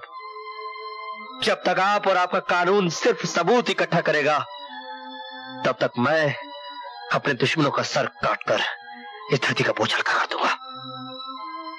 एक बात सुनते जाओ बेटे। लोहा लोहे को ज़रूर काटता है, और कानून तोड़कर गुनाहगारों को भी खत्म किया जा सकता है, लेकिन गुनाह को नहीं। गुनाह और गुनहगारों को आप कानून की किताब पढ़कर सजा दीजिए कमिश्नर साहब। मगर मेरे लिए मेरा दिल ही कानून है और मेरे जज्बात ही मेरी किताब। जो भी इसके खिलाफ जाएगा मैं उसे मिटा कर रख दूँगा। हेलो मिसेस सिंह हेलो कैसे हैं बच्चे? बस दुआ है आपकी। कोर्ट जा रहे हैं?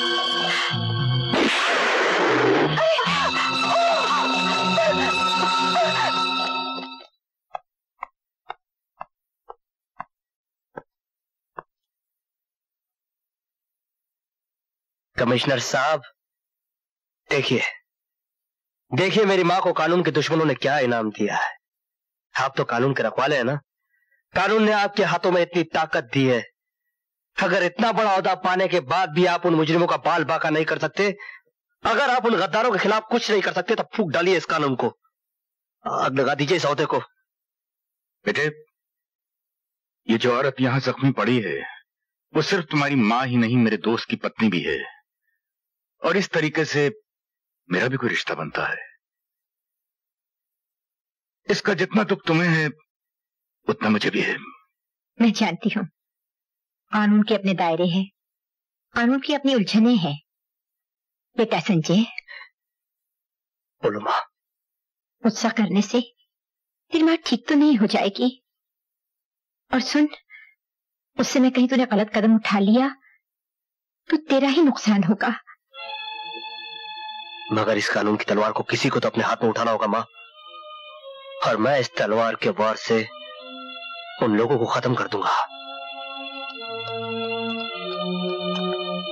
अब मम्मी की तबीयत कैसी है? ठीक है।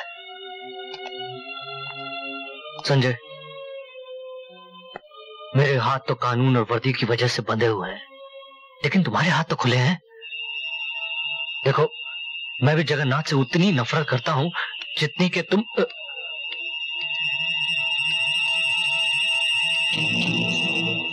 जानते हो, तुम्हारे पिताजी की मौत के बाद सारा पुलिस डिपार्टमेंट उससे नफरत करता है। मुझे खबर मिली है कि आज रात को साढ़े नौ बजे वो होटल ब्लू पैलेस में आने वाला है।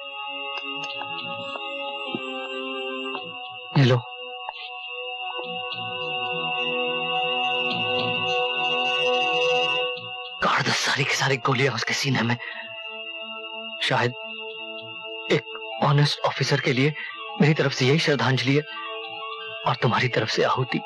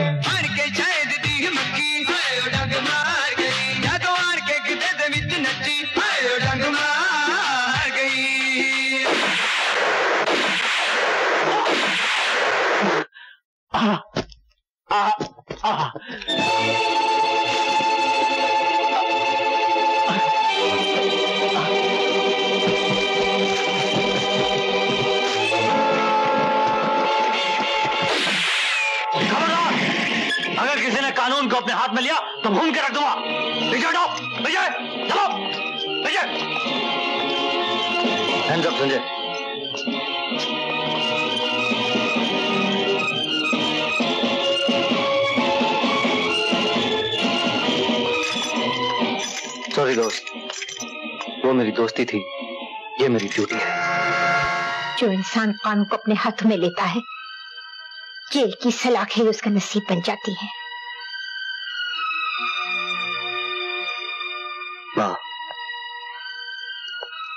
मकसद के लिए जीने वाले नसीब की मोहताज नहीं होते।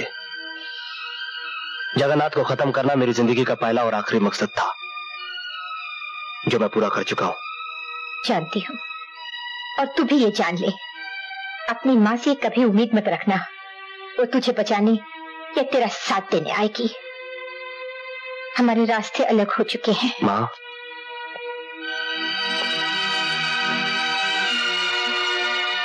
मालूम है। मैं अपने कर्म की लड़ाई लड़ चुका हूँ। अब तू अपने धर्म की जंग लड़।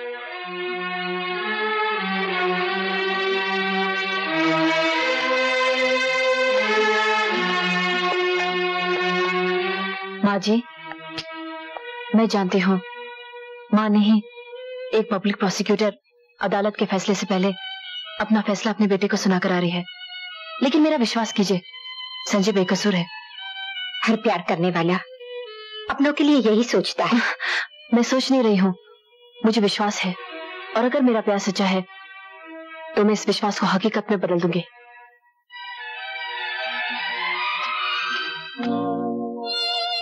संजय। तुम एक गुनहगार से मिलने आई हो? मैं गुनेगार से नहीं अपने प्यार से मिल रही हूँ। मेरे कर्म तुम्हारे कानून की निगाह में गुनाह है सोनम। मुझसे जितना दूर रहोगी उतनी सुखी रहोगी। प्यार का रिश्ता आत्मा से होता है। अव्वल तो मैं मानती नहीं कि तुम गुनेगार हो। लेकिन अगर कानून की नज़रों ने तुम्हें गुनेगार साबित कर दिया और तुम्हें सजा हो गई मैं अपने प्यार की सौगंध खा के कहती हूँ, तुम्हारी यादों से अपनी मांग सजाऊँगी और जन्म जन्म तक तुम्हारी राह देखूँगी। जब तक तुम मुझे अपनी सुहागन बनाकर घर की चौकट के अंदर नहीं लेकर जाते,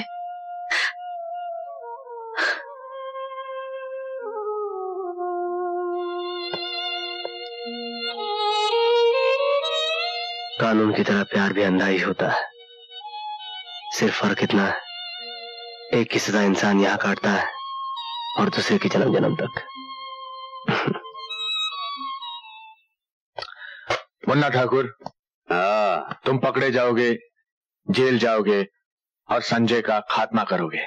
इतना बड़ा काम सेठ। जितना बड़ा काम उतना बड़ा इनाम मुन्ना ठाकुर। समझ गया सेठ।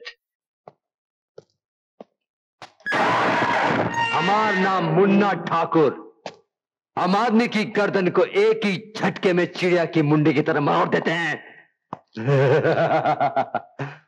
और उसके प्राण फुर से उठ जाते हैं। समझा का? और आज वो चिड़िया तू है, तू का? मुन्ना ठाकुर, तुम दुनिया वालों के लिए ठाकुर होगे, मगर मेरे लिए सिर्फ़ मुन्ना हो। चिड़िया आज ही नरक में जाएगी। और वहाँ नरक के दरवाजे पर तुम्हारा वो बाप सफ़ेद पगला से जगन्नाथ तुम्हारा इंतज़ार कर रहा होगा।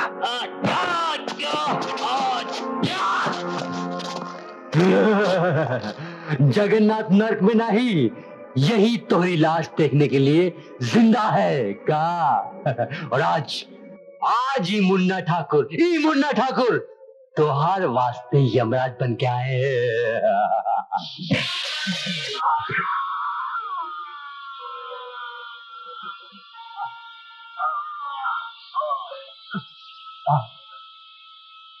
जा मुन्ने नरक पे? और वहाँ पर इंतज़ार करना अपने सेठ जगन्नाथ का। मिस्टर वफादार गुप्ता ये तुम्हारा असली नाम है? हंड्रेड परसेंट असली सर। दरअसल हमारे एक वफादार कुत्ते की मौत के बाद मेरे माँ बाप ने मेरा नाम रखा वफादार गुप्ता। नाम वफादार है लेकिन अपनी वर्दी और ओहदे से गद्दारी कर रहे हो। मैंने क्या किया सर? तुम घर की खबरें दुश्मनों तक पहुंचाते हो। मेरे पास रिपोर्ट आई है। तनख्वाह तुम सरकार से लेते हो लेकिन नौकरी तुम उन गद्दारों की करते हो। एक बात याद रखना गुप्ता। घर का भेदी लंका ढाता है। और मैं लंका ढाने वाले भेदियों का नामो निशान इस डिपार्टमेंट से मिटा देता हूँ। समझे? सर, मेरे नाम का ये निशान आप देख रहे हैं? वफादार गुप्ता। और आप मेरी वफादारी पे शक कर रहे मेरी? नहीं, सर। आप मुझ पे शक नहीं कर रहे, पूरे डिपार्टमेंट पे शक कर रहे हैं। सर, आप खुद अपने आप पे शक कर रहे हैं। सिर्फ़ इसलिए, सर कि मेरी वर्दी पे ये नेम प्लेट लगी है और आपकी वर्दी पे ये मेडल? सर, मेरी ज़िंदगी का एक ही मकसद है, ये मेडल हासिल करना। और उसके लिए अगर मुझे शहीद होना पड़ा, सर तो मैं हँसते हँसते फांसी पर चढ़ जाऊँगा, सर। मैं जानता हूँ, सर, सरकारी नौकरी में आँसू और जज्बात की कोई कीमत नहीं है, सर। और एक बात याद रखना, सर, वफादार गुप्ता का सर कट जाएगा, किसी गद्दार के सामने झुकेगा नहीं, सर। अब आप जो चाहे मेरे साथ सुलूक कीजिए, सर। चाहे मुझे जान से मार दीजिए, सर। और चाहे मुझे छोड़ दीजिए, सर। ठीक है। मैं अभी इस रिपोर्ट पर कोई एक्शन नहीं ले रहा हूँ। तो मैं सिर्फ़ वार्निंग देकर छोड़ रहा हूँ। पर एक बात याद रखना, गुप्ता। सरकार वफादारी के लिए वफादारों को मेडल देती है और मैं गद्दारी के लिए गद्दारों को गोली मार देता हूँ। समझे? You can go thank you sir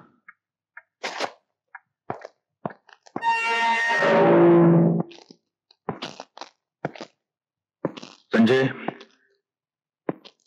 मैं तुम्हें रिहा करने आया हूँ। इस मेहरबानी की वजह।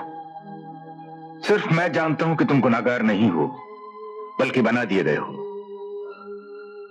मैं अपनी ज़िम्मेदारी पर तुम्हें छोड़ रहा हूँ, ताकि बाहर जाकर तुम अपने आप को बेगुनाह साबित कर सको और असली गुनागारों को सजा दिलवा सको। देखो, ये तुम्हारा इम्तिहान है, जिसके नतीजे का इंतज़ार मुझे रहेगा।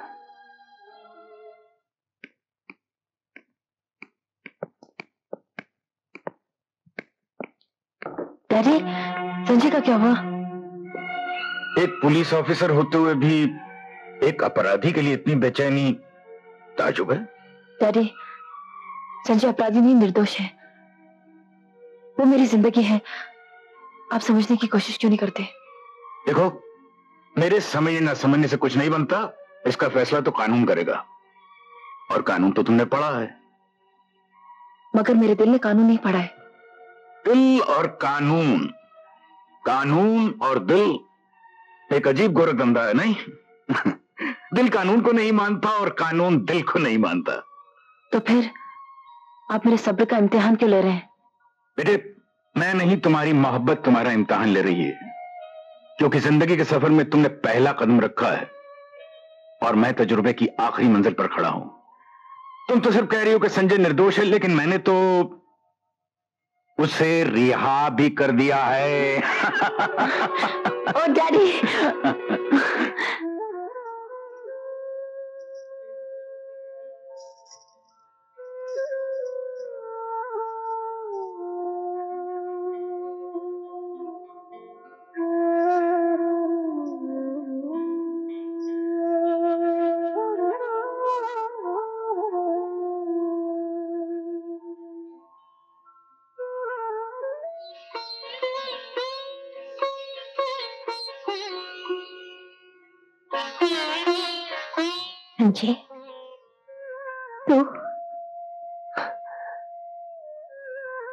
जिसके सुहाग का नाम अमर हो जिसके काम अमर हो जिसके वचन अमर हो उसके वचन को अपने धर्म की तरह निभाने वाली तुझ जैसी माँ ही हो सकती है माँ। संजय मुझे मालूम था कि मैं आऊँगा तो तुझे दुख होगा। मगर तेरे दुख में मैं नहीं आता तो मुझे कभी शांति नहीं मिलती। बेटे सारी सुहागिनें अपने पति को अमर रखने के लिए व्रत रखती हैं। मैं तो अपने अमर पति की पूजा कर रही हूँ। भगवान से मांगती हूँ कि जन्म जन्म तक यही मेरे पति रहे। तूने तूने अपने पिता का नाम, उनका धर्म, उनके सपने सब कुछ मिट्टी में मिला दिए। बोल बेटे तू ऐसा क्यों कर रहा है? क्यों कर रहा बेटे? क्यों कर रहा है? क्यों कर रहा है?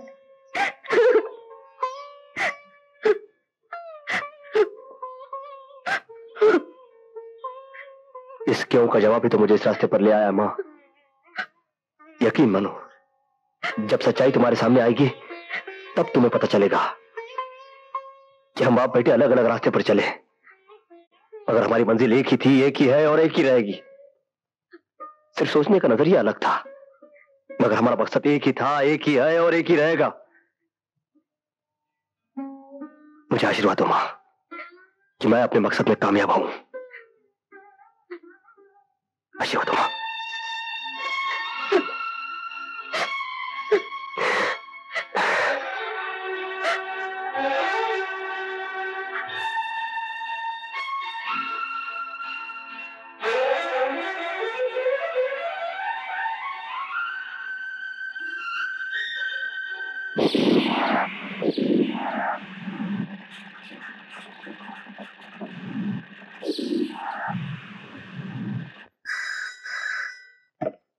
इंस्पेक्टर वफादार गुप्ता स्पीकिंग वफादार? कहीं तुम गद्दार तो नहीं हो गए? क्या बात करते हो यार जगन्नाथ? वफादार और गद्दार हो ही नहीं सकता। बोलो। फिर संजय को मेरे ठिकानों का पता कैसे चला? अरे यार संजय को तुम्हारे कुछ ही ठिकानों का पता चला है ना? मैं तो ऐसी चाल चलूँगा कि संजय के सारे ठिकाने ठिकाने लग जाएँगे। अरे तुम देखना देखना तुम हाँ ओके? संजय। संजय? क्यों बुलाया था मुझे? यहाँ मैंने तुम्हें तुम्हारी रिहाई की मुबारकबाद देने के लिए बुलाया था। मुबारकबाद। जब तक मैं अपने आप को बेगुनाह साबित नहीं कर लेता मैं अपराधी हूँ सोनम। तुम अपराधी हो? या निर्दोष। अच्छे हो या बुरे तुम जैसे भी हो तुम मेरे हो संजय। ये दिल का सौदा है जिसे कानून के तराजू में नहीं तोला जा सकता। मगर जो अपराध का कलंक मेरे माथे पे लगा उसका क्या? मैं इसे सिंधु समझकर अपनी मांग में सजा लूँगी।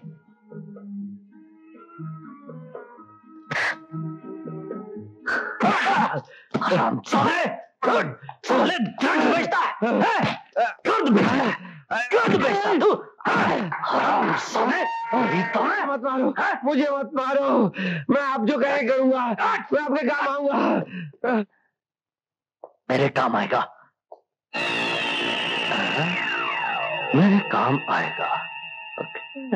Inspector Sonam commissioner of police Durjan Singh police की ड्यूटी के अलावा और भी बहुत सारे काम करते हैं। आप तो जानती होंगी। क्या बकवास कर रहे हो तुम? आई अंडरस्टैंड जब पुलिस कमिश्नर ही अंडरवर्ल्ड के लोगों के साथ मिलकर गैर कानूनी काम करे और अपने ही घर में गैर कानूनी सामान रखे तो एक ऑफिसर को तो यह बात बकवास ही लगती होगी। आई अंडरस्टैंड अगर ये इंफॉर्मेशन गलत निकली तो? तो अपने रिवॉल्वर की पहली गोली आप मेरे सीने में उतार दीजिएगा। लेकिन अपनी वर्दी के फ़र्ज़ को तुम्हें आज निभाना, inspector Sonam. All the best bye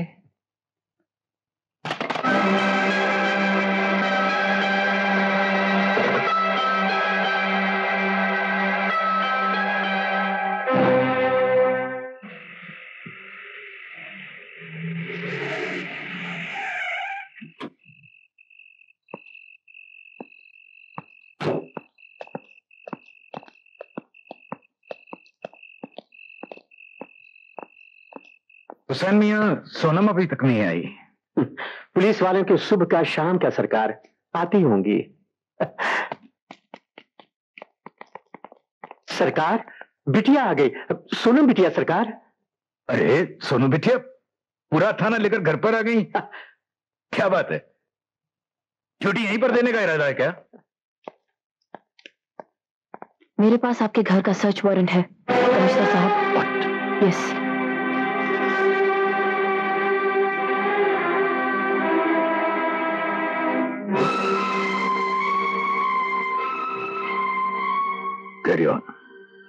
thank you तुम इधर जाओ तुम ऊपर जाओ। चलो जल्दी करो। पागल हो गई है दीवानी हो गई है। ऐसी बातें न देखी गई न सुनी गई। बेटी बाप के घर की तलाशी लगी। हुसैन मियाँ इम्तहान का सबक देना बड़ा आसान होता है। लेकिन हकीकत में इम्तहान देना बड़ा मुश्किल होता है। शायद मुश्किल इम्तहानों से गुजरना ही मेरी ज़िंदगी है। इंस्पेक्टर चौक से तलाशी लो। घर का कोना कोना तुम्हारा देखा हुआ है। ये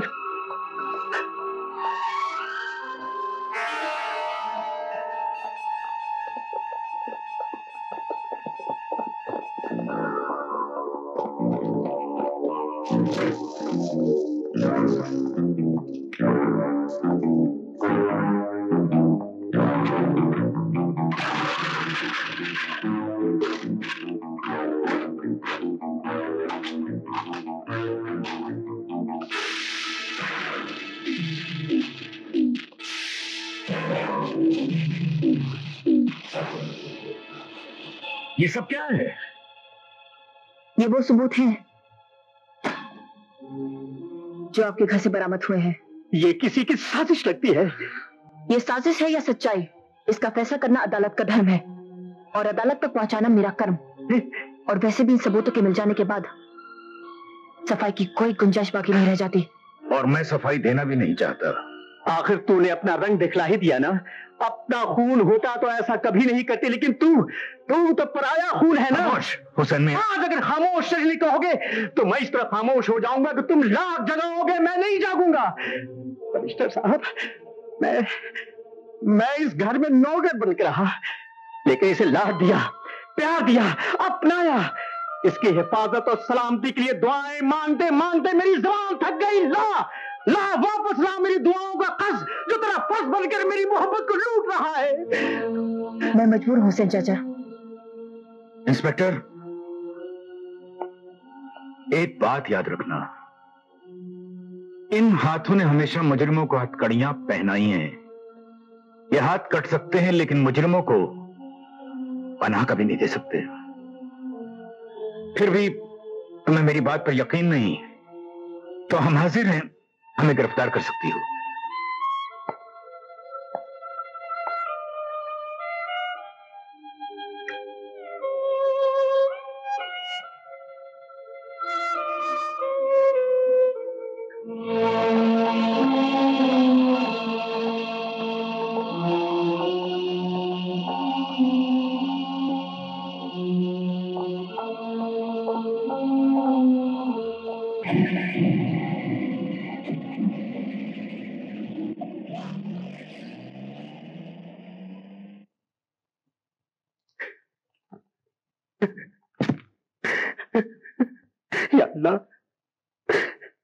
तू जानता है कि मालिक बेकसूर है।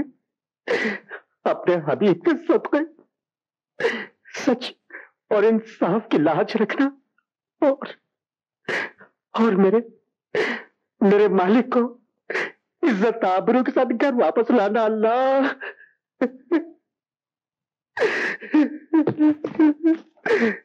अल्लाह।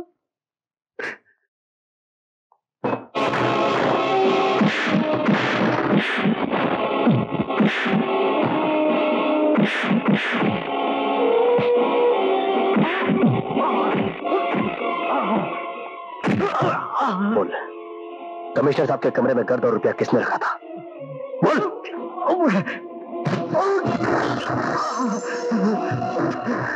मुझे नहीं मालूम। मुझे नहीं मालूम। मुझे नहीं मालूम। मुझे नहीं मालूम। क्या बोलेगा? मुझे नहीं मालूम।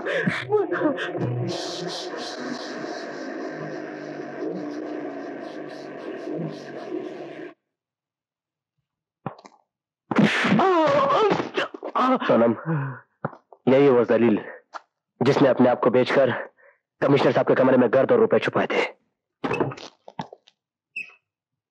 अरे साहब वो क्या?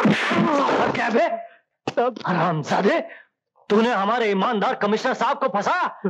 वो शख्स जिसने ज़िंदगी में हराम का एक पैसा नहीं देखा उसको सलाखों का कमरा दिखाया मैं तुझे। मिस्टर गुप्ता। सोनम जी इस आदमी ने हमारी इस पवित्र वर्दी पर कीचड़ उछाला है। इससे पूरी तहकीकात मैं करूँगा। इससे हकीकत मैं निकलवाऊँगा। चल, चल। देवता जैसे कमिश्नर साहब पर इल्ज़ाम लगाता है। कुत्ते सोनम ये था मेरा पहला तोहफा। संजय?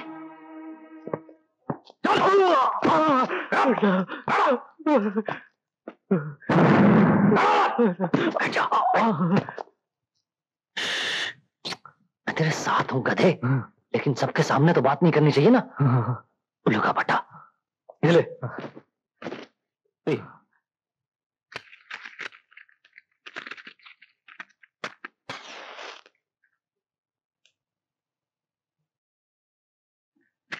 सुन ये तेरे को छोड़ रहा हूँ ना उसके पेपर पे साइन कर दे। लिखना आता है ना? हम्म, शाबाश शाबाश।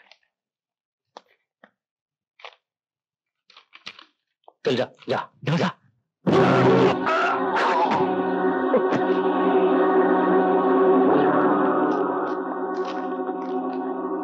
अच्छा हुआ सब पेपर पहले रेडी रखे।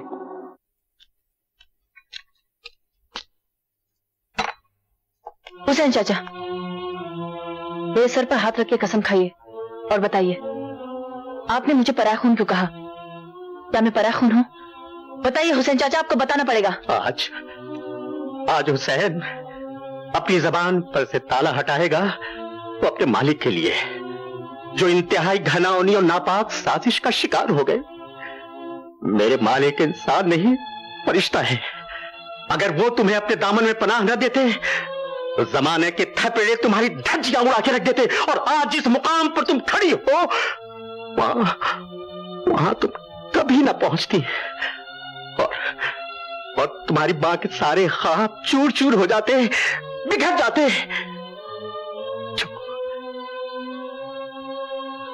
उन्नीस साल पहले उसने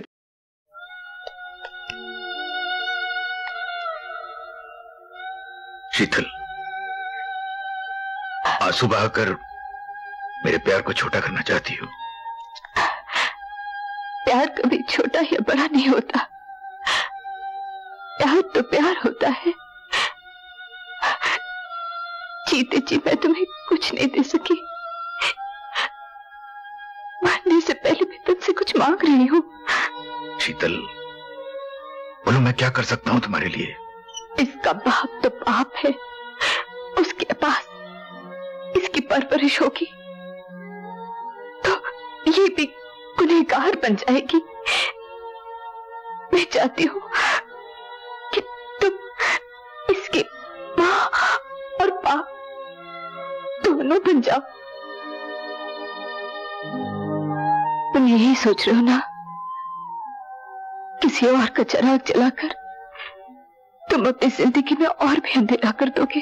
किसी और का चराग जला देने से अपने चराग की रोशनी कम नहीं हो जाती। बल्कि और बढ़ जाती है।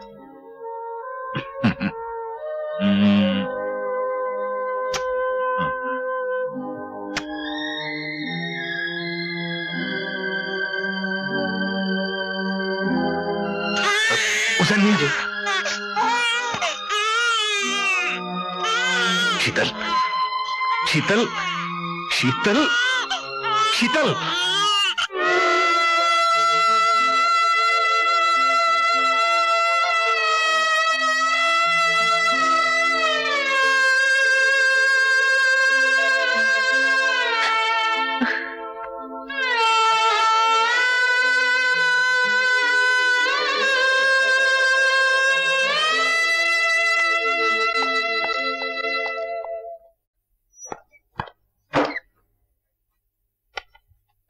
तुमसे कुछ कहना चाहता हूँ।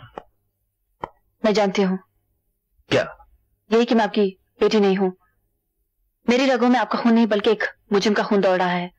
और इससे पहले कानून मुझे अपना फ़र्ज़ अदा करने से रोके। मैं अपना इस्तीफा देने आई हूँ।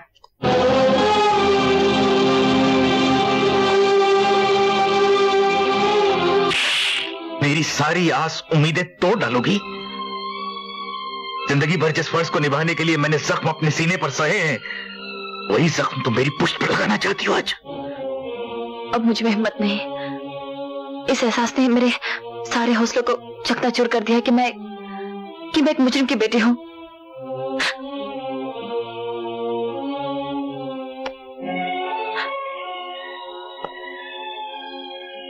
ए,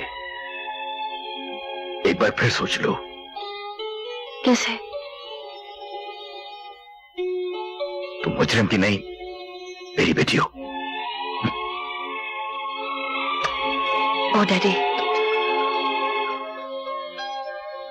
क्यों? तुम्हारी चाल कामयाब हुई? यार वो जरा सी गलती से सब गुप्ता मुझे बेवकूफ़ दोस्तों से अकलमंद दुश्मन ज़्यादा पसंद है। तुम्हारे जैसे इंस्पेक्टर तो हवलदार बनने के काबिल नहीं कमिश्नर की बात तो बहुत दूर की है। आज के बाद मेरे मामलों में होशियारी दिखाने की कोई ज़रूरत नहीं हम खुद ही निपट लेंगे। अरे यार जो मुँह में आया बगैर चले जा रहे हो बगैर सोचे समझे। जो हो गया सो हो गया। तुम इस बार देखना। इस बार तो हमने तुम्हें छोड़ दिया गुप्ता वरना हम तुम्हारी गर्दन। तुम जा सकते हो। वाह वाह बहुत अच्छे बहुत अच्छे। जगन्नाथ दरअसल तुम्हारी नीयत में खोट आ गया है। तुम मुझसे मेरा हक मार लेना चाहते हो लेकिन ये मत भूलो। वफादार गुप्ता के बगैर तुम्हारी हुकूमत के पहिए डगमगा जाएँगे। Gupta get lost get lost yes okay okay मुझे गेट लॉस बोल रहा है। कमाल है।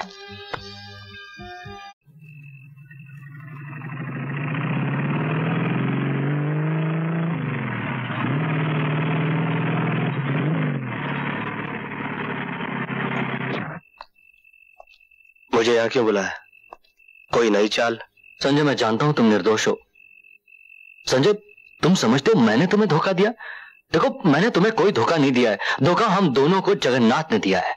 मुझे नहीं मालूम था कि उसने अंदर बुलेट प्रूफ जैकेट पहनी हुई है। आई स्वेर यार। संजय, अगर तुम चाहो तो अब भी उस हरामजादे की साँसें बंद कर सकते हो। वो कैसे? उस तोते की जान, उस परी की मुट्ठी में है, जो लोगों का दिल बहलाने के लिए उसके नाइट क्लब में नाश्ती गाती है। अगर तुम उसका दिल जीत लो और उसकी मुट्ठी खुलवा दो तो उसकी साँसें तो अपने आप बंद हो जाएँगी ना? क्या नाम है उस परी का? सोनिया।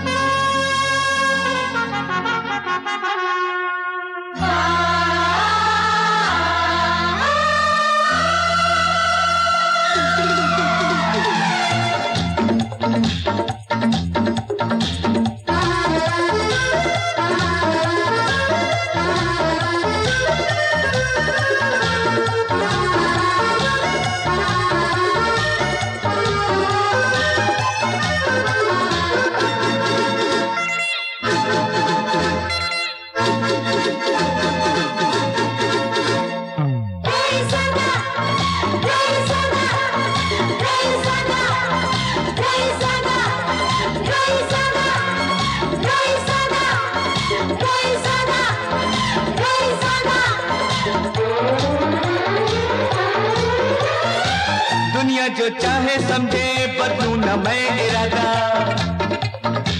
दुनिया जो चाहे समझे बदलू न मैं इरादा। जिससे भी प्यार कर लूँ, जिससे भी कर लूँ वादा। मैं हूँ दिल का रईस दादा। मैं हूँ दिल का रईस दादा।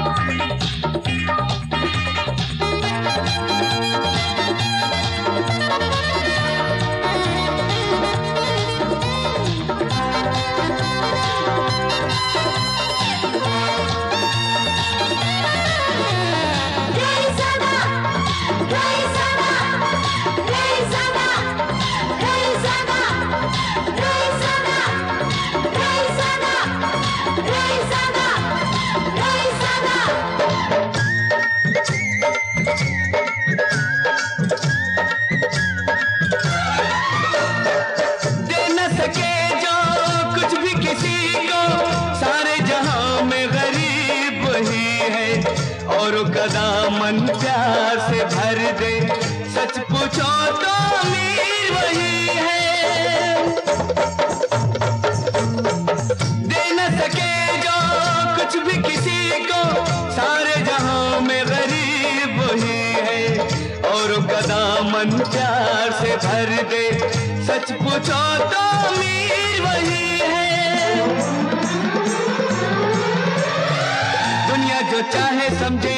बदलू ना मैं इरादा। जिससे भी प्यार कर लूँ, जिससे भी कर लूँ वादा। मैं हूँ दिल का रईस ज़्यादा। मैं हूँ दिल का रईस खुशी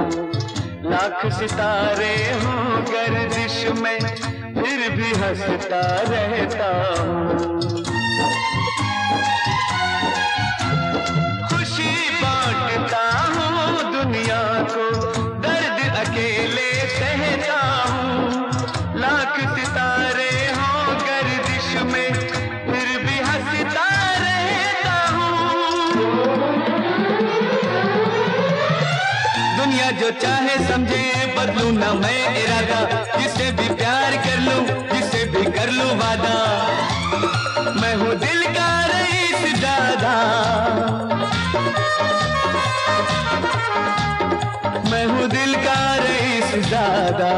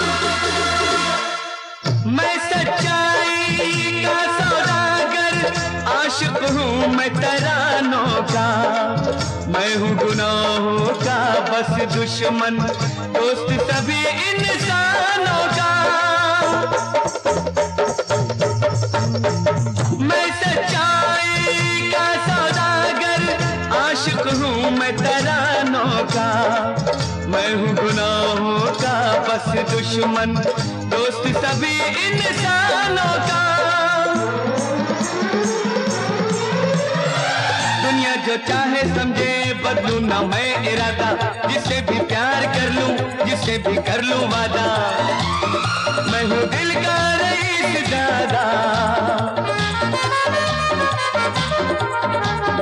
मैं हूँ दिल का रईस दादा।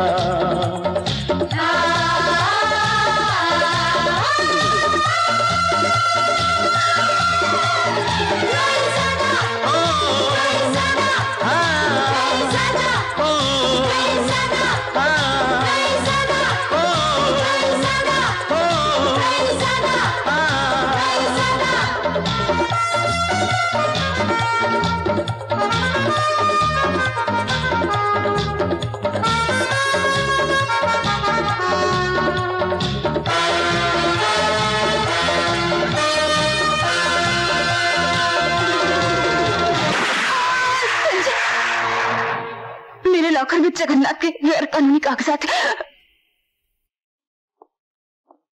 कमिश्नर साहब ये वो फ़ाइल है जिसमें जगन्नाथ की काली करतूतों का हिसाब है और इसमें वो सबूत है जिनकी अदालत के चबूतरे पर आँखों पर काली पट्टी बांधे खड़ी इंसाफ की देवी को सख्त ज़रूरत है।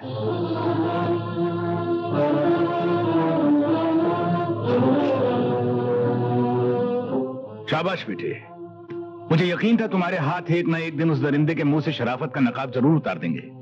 कॉन्ग्रेचुलेशन कमिश्नर साहब, अभी तक तो मैंने सिर्फ़ वर्दी का कर्ज उतारा है। डैडी के खून का कर्ज अदा करना तो अभी बाकी है।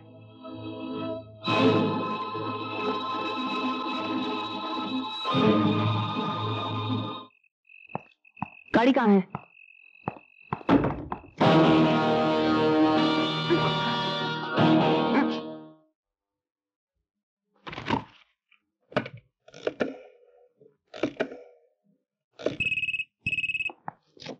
हेलो। तुम? मुझे मालूम था गुप्ता तुम वहीं हो गए। सर, सर मैं तो ड्यूटी पर हूँ सर। मुझे मालूम है तुम किस तरह की ड्यूटी पर हो। जगन्नाथ कहाँ है? सर वो तो कब मर चुका है सर। और तुम अभी तक ज़िंदा हो। ठीक है।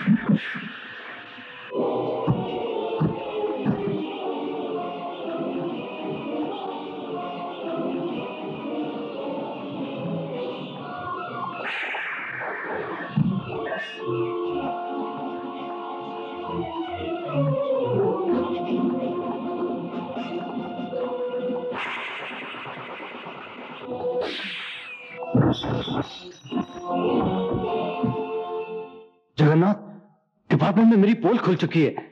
मैंने इतने साल जो तुम्हारे साथ वफादारी की मुझे उसका मुआवजा दे दो। मैं इस मुल्क से निकल जाना चाहता हूँ। जगन्नाथ जो हक माँगता है उसे मुल्क से नहीं दुनिया से दूर भेज दिया जाता है वफादार। अरे यार तू देख जगन्नाथ तू मुझे कुछ नहीं देना चाहता ना। कुछ मत दे।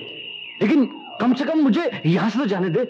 क्योंकि पूरे डिपार्टमेंट को पता चल गया कि मैं बेईमान हूँ मैं करप्ट हूँ। मेरे पीछे पुलिस लगी है मुझे यहाँ से जाने दे। मुझे मारना तेरे जैसे हिजड़े का काम नहीं है। मुझे दुनिया से हटाने से पहले इसे दुनिया से हटा, जो तेरा अपना खून है, अपना खून। चला गोली, चला। जगन्नाथ का नाता सिर्फ़ रुपयों से है, वफादार। जगन्नाथ का रिश्ता सिर्फ़ दौलत से है। और रिश्तों की खातिर जिनकी आँखों में आँसू आते हैं, वो अनाथ होते हैं। जगन्नाथ नहीं। आओ, तुम्हें भी भेज देता हूँ इसके साथ स्वर्ग।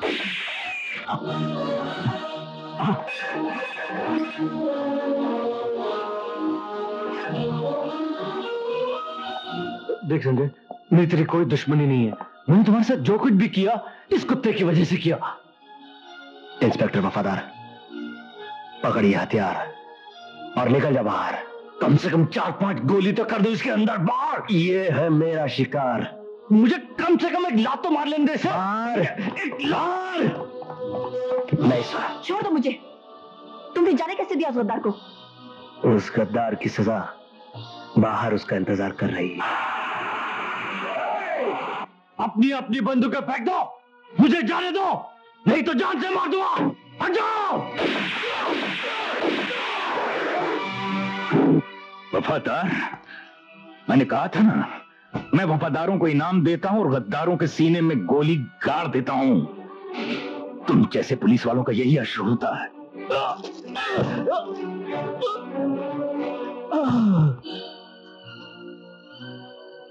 और इस गद्दार को इस गद्दार को सजा मैं दूँगा। नहीं संजय इसे कानून के हवाले कर दो। किस कानून के हवाले कर दूँ? उस कानून के जो इसके गुनाहों को देखते हुए भी अनदेखा करता था? क्यों छोड़ दू? कैसे छोड़ दू मैं इसे? अपनी माँ की खातिर। जिसे विश्वास है कि कानून जगन्नाथ को सजा एक ना एक दिन ज़रूर देगा। अगर तुमने इसके गंदे खून से अपने हाथ रंग लिए और गुनेगार बन गए तो कानून के साथ साथ तुम्हारी माँ का ममता से विश्वास उठ जाएगा। संजय, तुम्हारे हाथ में हथकड़ी होगी, मगर सजा जगन्नाथ को ज़रूर होगी। ये मेरा वचन है। मेरी माँ की गर्दन आज तक भगवान के सिवा किसी के सामने नहीं झुकी। और किसी गुनेगार के लिए मैं उसे झुकने भी नहीं दूँगा। मगर इतना याद रखना सोनम। इस बार फिर अगर कानून ने मेरे साथ न्याय नहीं किया तो हर घर में एक ऐसा संजय पैदा होगा, जो अदालत के कुरुक्षेत्र का इंतज़ार नहीं करेगा। अपनी महाभारत खुद लड़ेगा।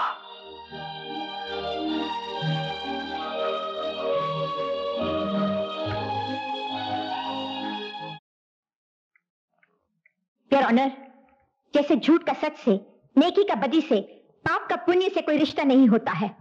उसी तरह संजय पर लगाए गए इल्जामों का रिश्ता संजय से नहीं है। मिलॉर्ड हर माँ अपनी औलाद को बेगुनाह समझती है चाहे वो गुनाह कितना भी बड़ा क्यों ना हो। मिलॉर्ड इस खतरनाक मुलजिम संजय सिंह वल्द अमर सिंह ने मेरे मुवक्किल को मारना चाहा। योर ऑनर मैं उन गुनेगारों में से नहीं हूँ जो अपना गुनाह कबूल करने से घबराते हाँ। ये सच है कि श्रीमान जगन्नाथ, इनके घर बार और कारोबार को मैंने तहस नहस किया। यह भी सच है कि मैंने अपने हथकंडों से इन्हें बर्बाद किया। और यह भी सच है कि मैंने इनकी हत्या करने की कोशिश की। मगर अफसोस कि यह बच गया। वाकई मुझे इस बात का अफसोस है, योर ऑनर, कि मैंने गोली इसके पैरों पर मारी, इसके सीने पर नहीं। और अगर आप मुझसे पूछे कि यह आदमखोर लंगड़ा गैर कानूनी आदमी कानून के कटघरे में ज़िंदा कैसे खड़ा है? तो इस सवाल का जवाब मेरी माँ है योर ऑनर सिर्फ़ मेरी माँ। जिसे इस बात का पूरा यकीन था कि कानून इसे सजा ज़रूर देगा। मगर ऐसा नहीं हुआ। बल्कि मैं मुजरिम बनकर आज कानून के कटघरे में खड़ा हूँ। ये जगन्नाथ, जिसकी दरिंदगी का शिकार अदालत में बैठा हर शख्स है, चाहे वो माँ हूँ, मेरी माँ है या मेरी मोहब्बत हर एक को इसने ऐसा सदमा ज़रूर दिया है जिसे वो मरकर भी भूल नहीं सकता। योर ऑनर मेरे हाथों को हथकड़ी ने जकड़ लिया और ये दरिंदा मौत से बच गया। वरना अभी मेरे हाथ इसी बंदूक से इसके सीने में गोली ठोकने के लिए मचल रहे हैं। मिस्टर संजय क्या यह अदालत जान सकती है कि आप खास इसी बंदूक से सेठ जगन्नाथ का खून करना क्यों चाहते हैं? क्योंकि इसी बंदूक से इसी बंदूक से इससे जगन्नाथ ने मेरी माँ के होठों की मुस्कुराहट उसके माथे की बिंदिया। उसकी मांग का सिंदूर सब कुछ छीन लिया। दे दिया उसके सीने में जख्म। भर दिए उसकी आँखों में आँसू। फिर भी मेरी माँ ने अपने आदर्श के रास्ते को कभी नहीं छोड़ा। वो एक पत्नी के, एक माँ के, एक औरत के सारे फ़र्ज़ निभाने चली आई। अब देखना तो यह है योर कि कानून अपना फ़र्ज़ और अपनी ज़िम्मेदारी कहाँ तक निभाता है? मिसेस ज्योति सिंह आप अपने गवाह और सबूत पेश कर सकती हैं। इस बंदूक को पहचानते हैं मिस्टर जगन्नाथ? जी हाँ। इसी बंदूक की गोली से इस लड़के ने मेरी टांग को जख्मी किया था। ये किसकी बंदूक है? ज़ाहिर है उसी की जिसने मेरे ऊपर हमला किया। तुम झूठ बोल रहे हो जगन्नाथ। ये स्टैंड गन विदेशी ज़रूर है मगर है ये तुम्हारी। इसी बंदूक से तुमने मेरे पति डीएसपी अमर सिंह का खून किया। उस खून के चश्मदीद गवाह थे। मैं और मेरा बेटा कानून की कमजोरियों और तुम्हारी चालाकियों ने तुम्हारी गर्दन को फांसी के फंदे से दूर रखा। मगर अब ये फांसी का फंदा इतना नज़दीक आ गया है कि अगर तुम चाहो तो भी तुम नहीं बच सकते। ये झूठ है और ऑनर मैंने कोई कत्ल नहीं किया। यस मिलॉर्ड मेरे मुवक्किल को डीएसपी अमर सिंह का कातिल कहना झूठ है। ये झूठ नहीं सच है। ये सरासर झूठ है। ये सच है। ये झूठ है। Objection overruled Mrs Jyoti Singh आप जो कहना चाहे कह सकती हैं। ये सच इसलिए है ये ऑनर पोस्टमार्टम के वक्त डीएसपी अमर सिंह के जिस्म से निकाली गई गोलियाँ उन गोलियों से मिलती हैं जो जगन्नाथ की जख्मी टांग से निकली थी।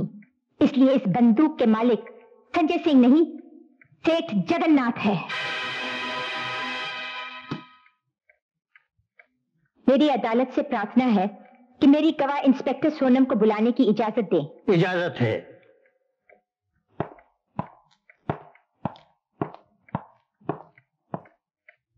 इस आदमी को जानती हो? जो कटघरे में खड़ा है? जी हाँ। अच्छी तरह से जानती हूँ।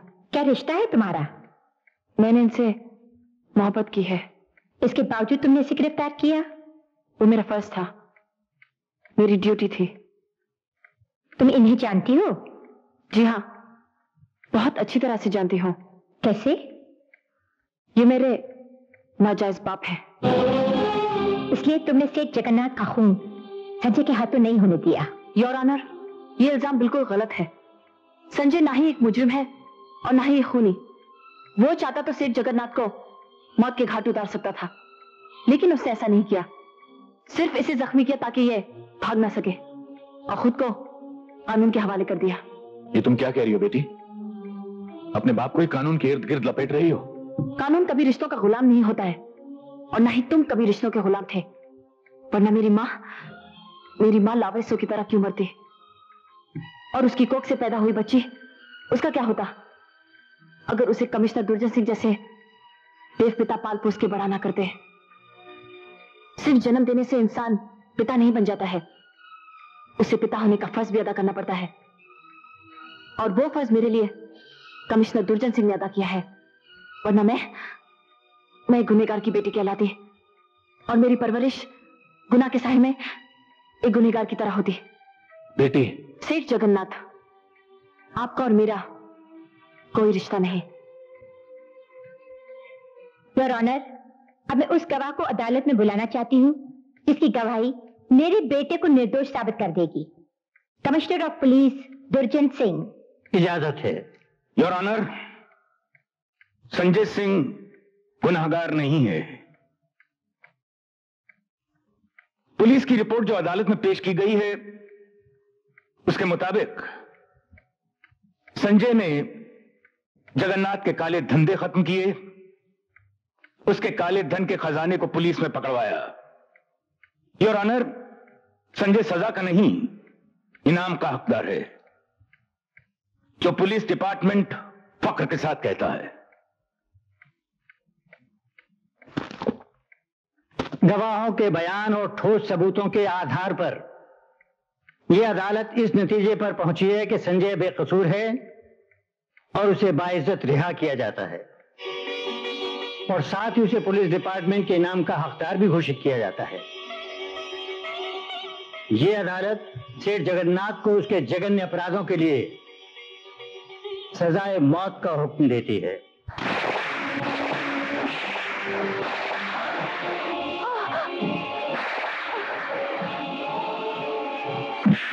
जगन्नाथ अब ना तो तुम पाप कर पाओगे ना पुण्य। और तुम वो भी नहीं कर पाओगे जो तुम करना चाहते हो। जगन्नाथ मैं तुझे जान से मार डालूँगा। जगन्नाथ को हिरासत में लिया जाए। आपके कातिल। छोड़ो मुझको। जगन्नाथ किसी कानून को नहीं मानता। आज जगन्नाथ तुम कानून वालों को भगवान बनकर जीने नहीं देगा। एक एक को खत्म कर देगा। सोनम सोनम तुम ठीक हो ना? मैं ठीक हूँ। दुनिया में किसी भी पापी की मौत सर पटकने से नहीं टलती। जब जब जगन्नाथ जैसे गुनाहगार जन्म लेंगे तब तब कानून का फंदा उनके गले में पड़ेगा और वो हैवान मौत के अंधेरे में मिल जाएँगे। ताकि दूसरों की ज़िंदगी की रोशनी ना छीन सके। दुनिया जो चाहे समझे, बदलू न मैं इरादा। जिससे भी प्यार कर लूँ, जिससे भी कर लूँ वादा। मैं हूँ दिल का रईस दादा।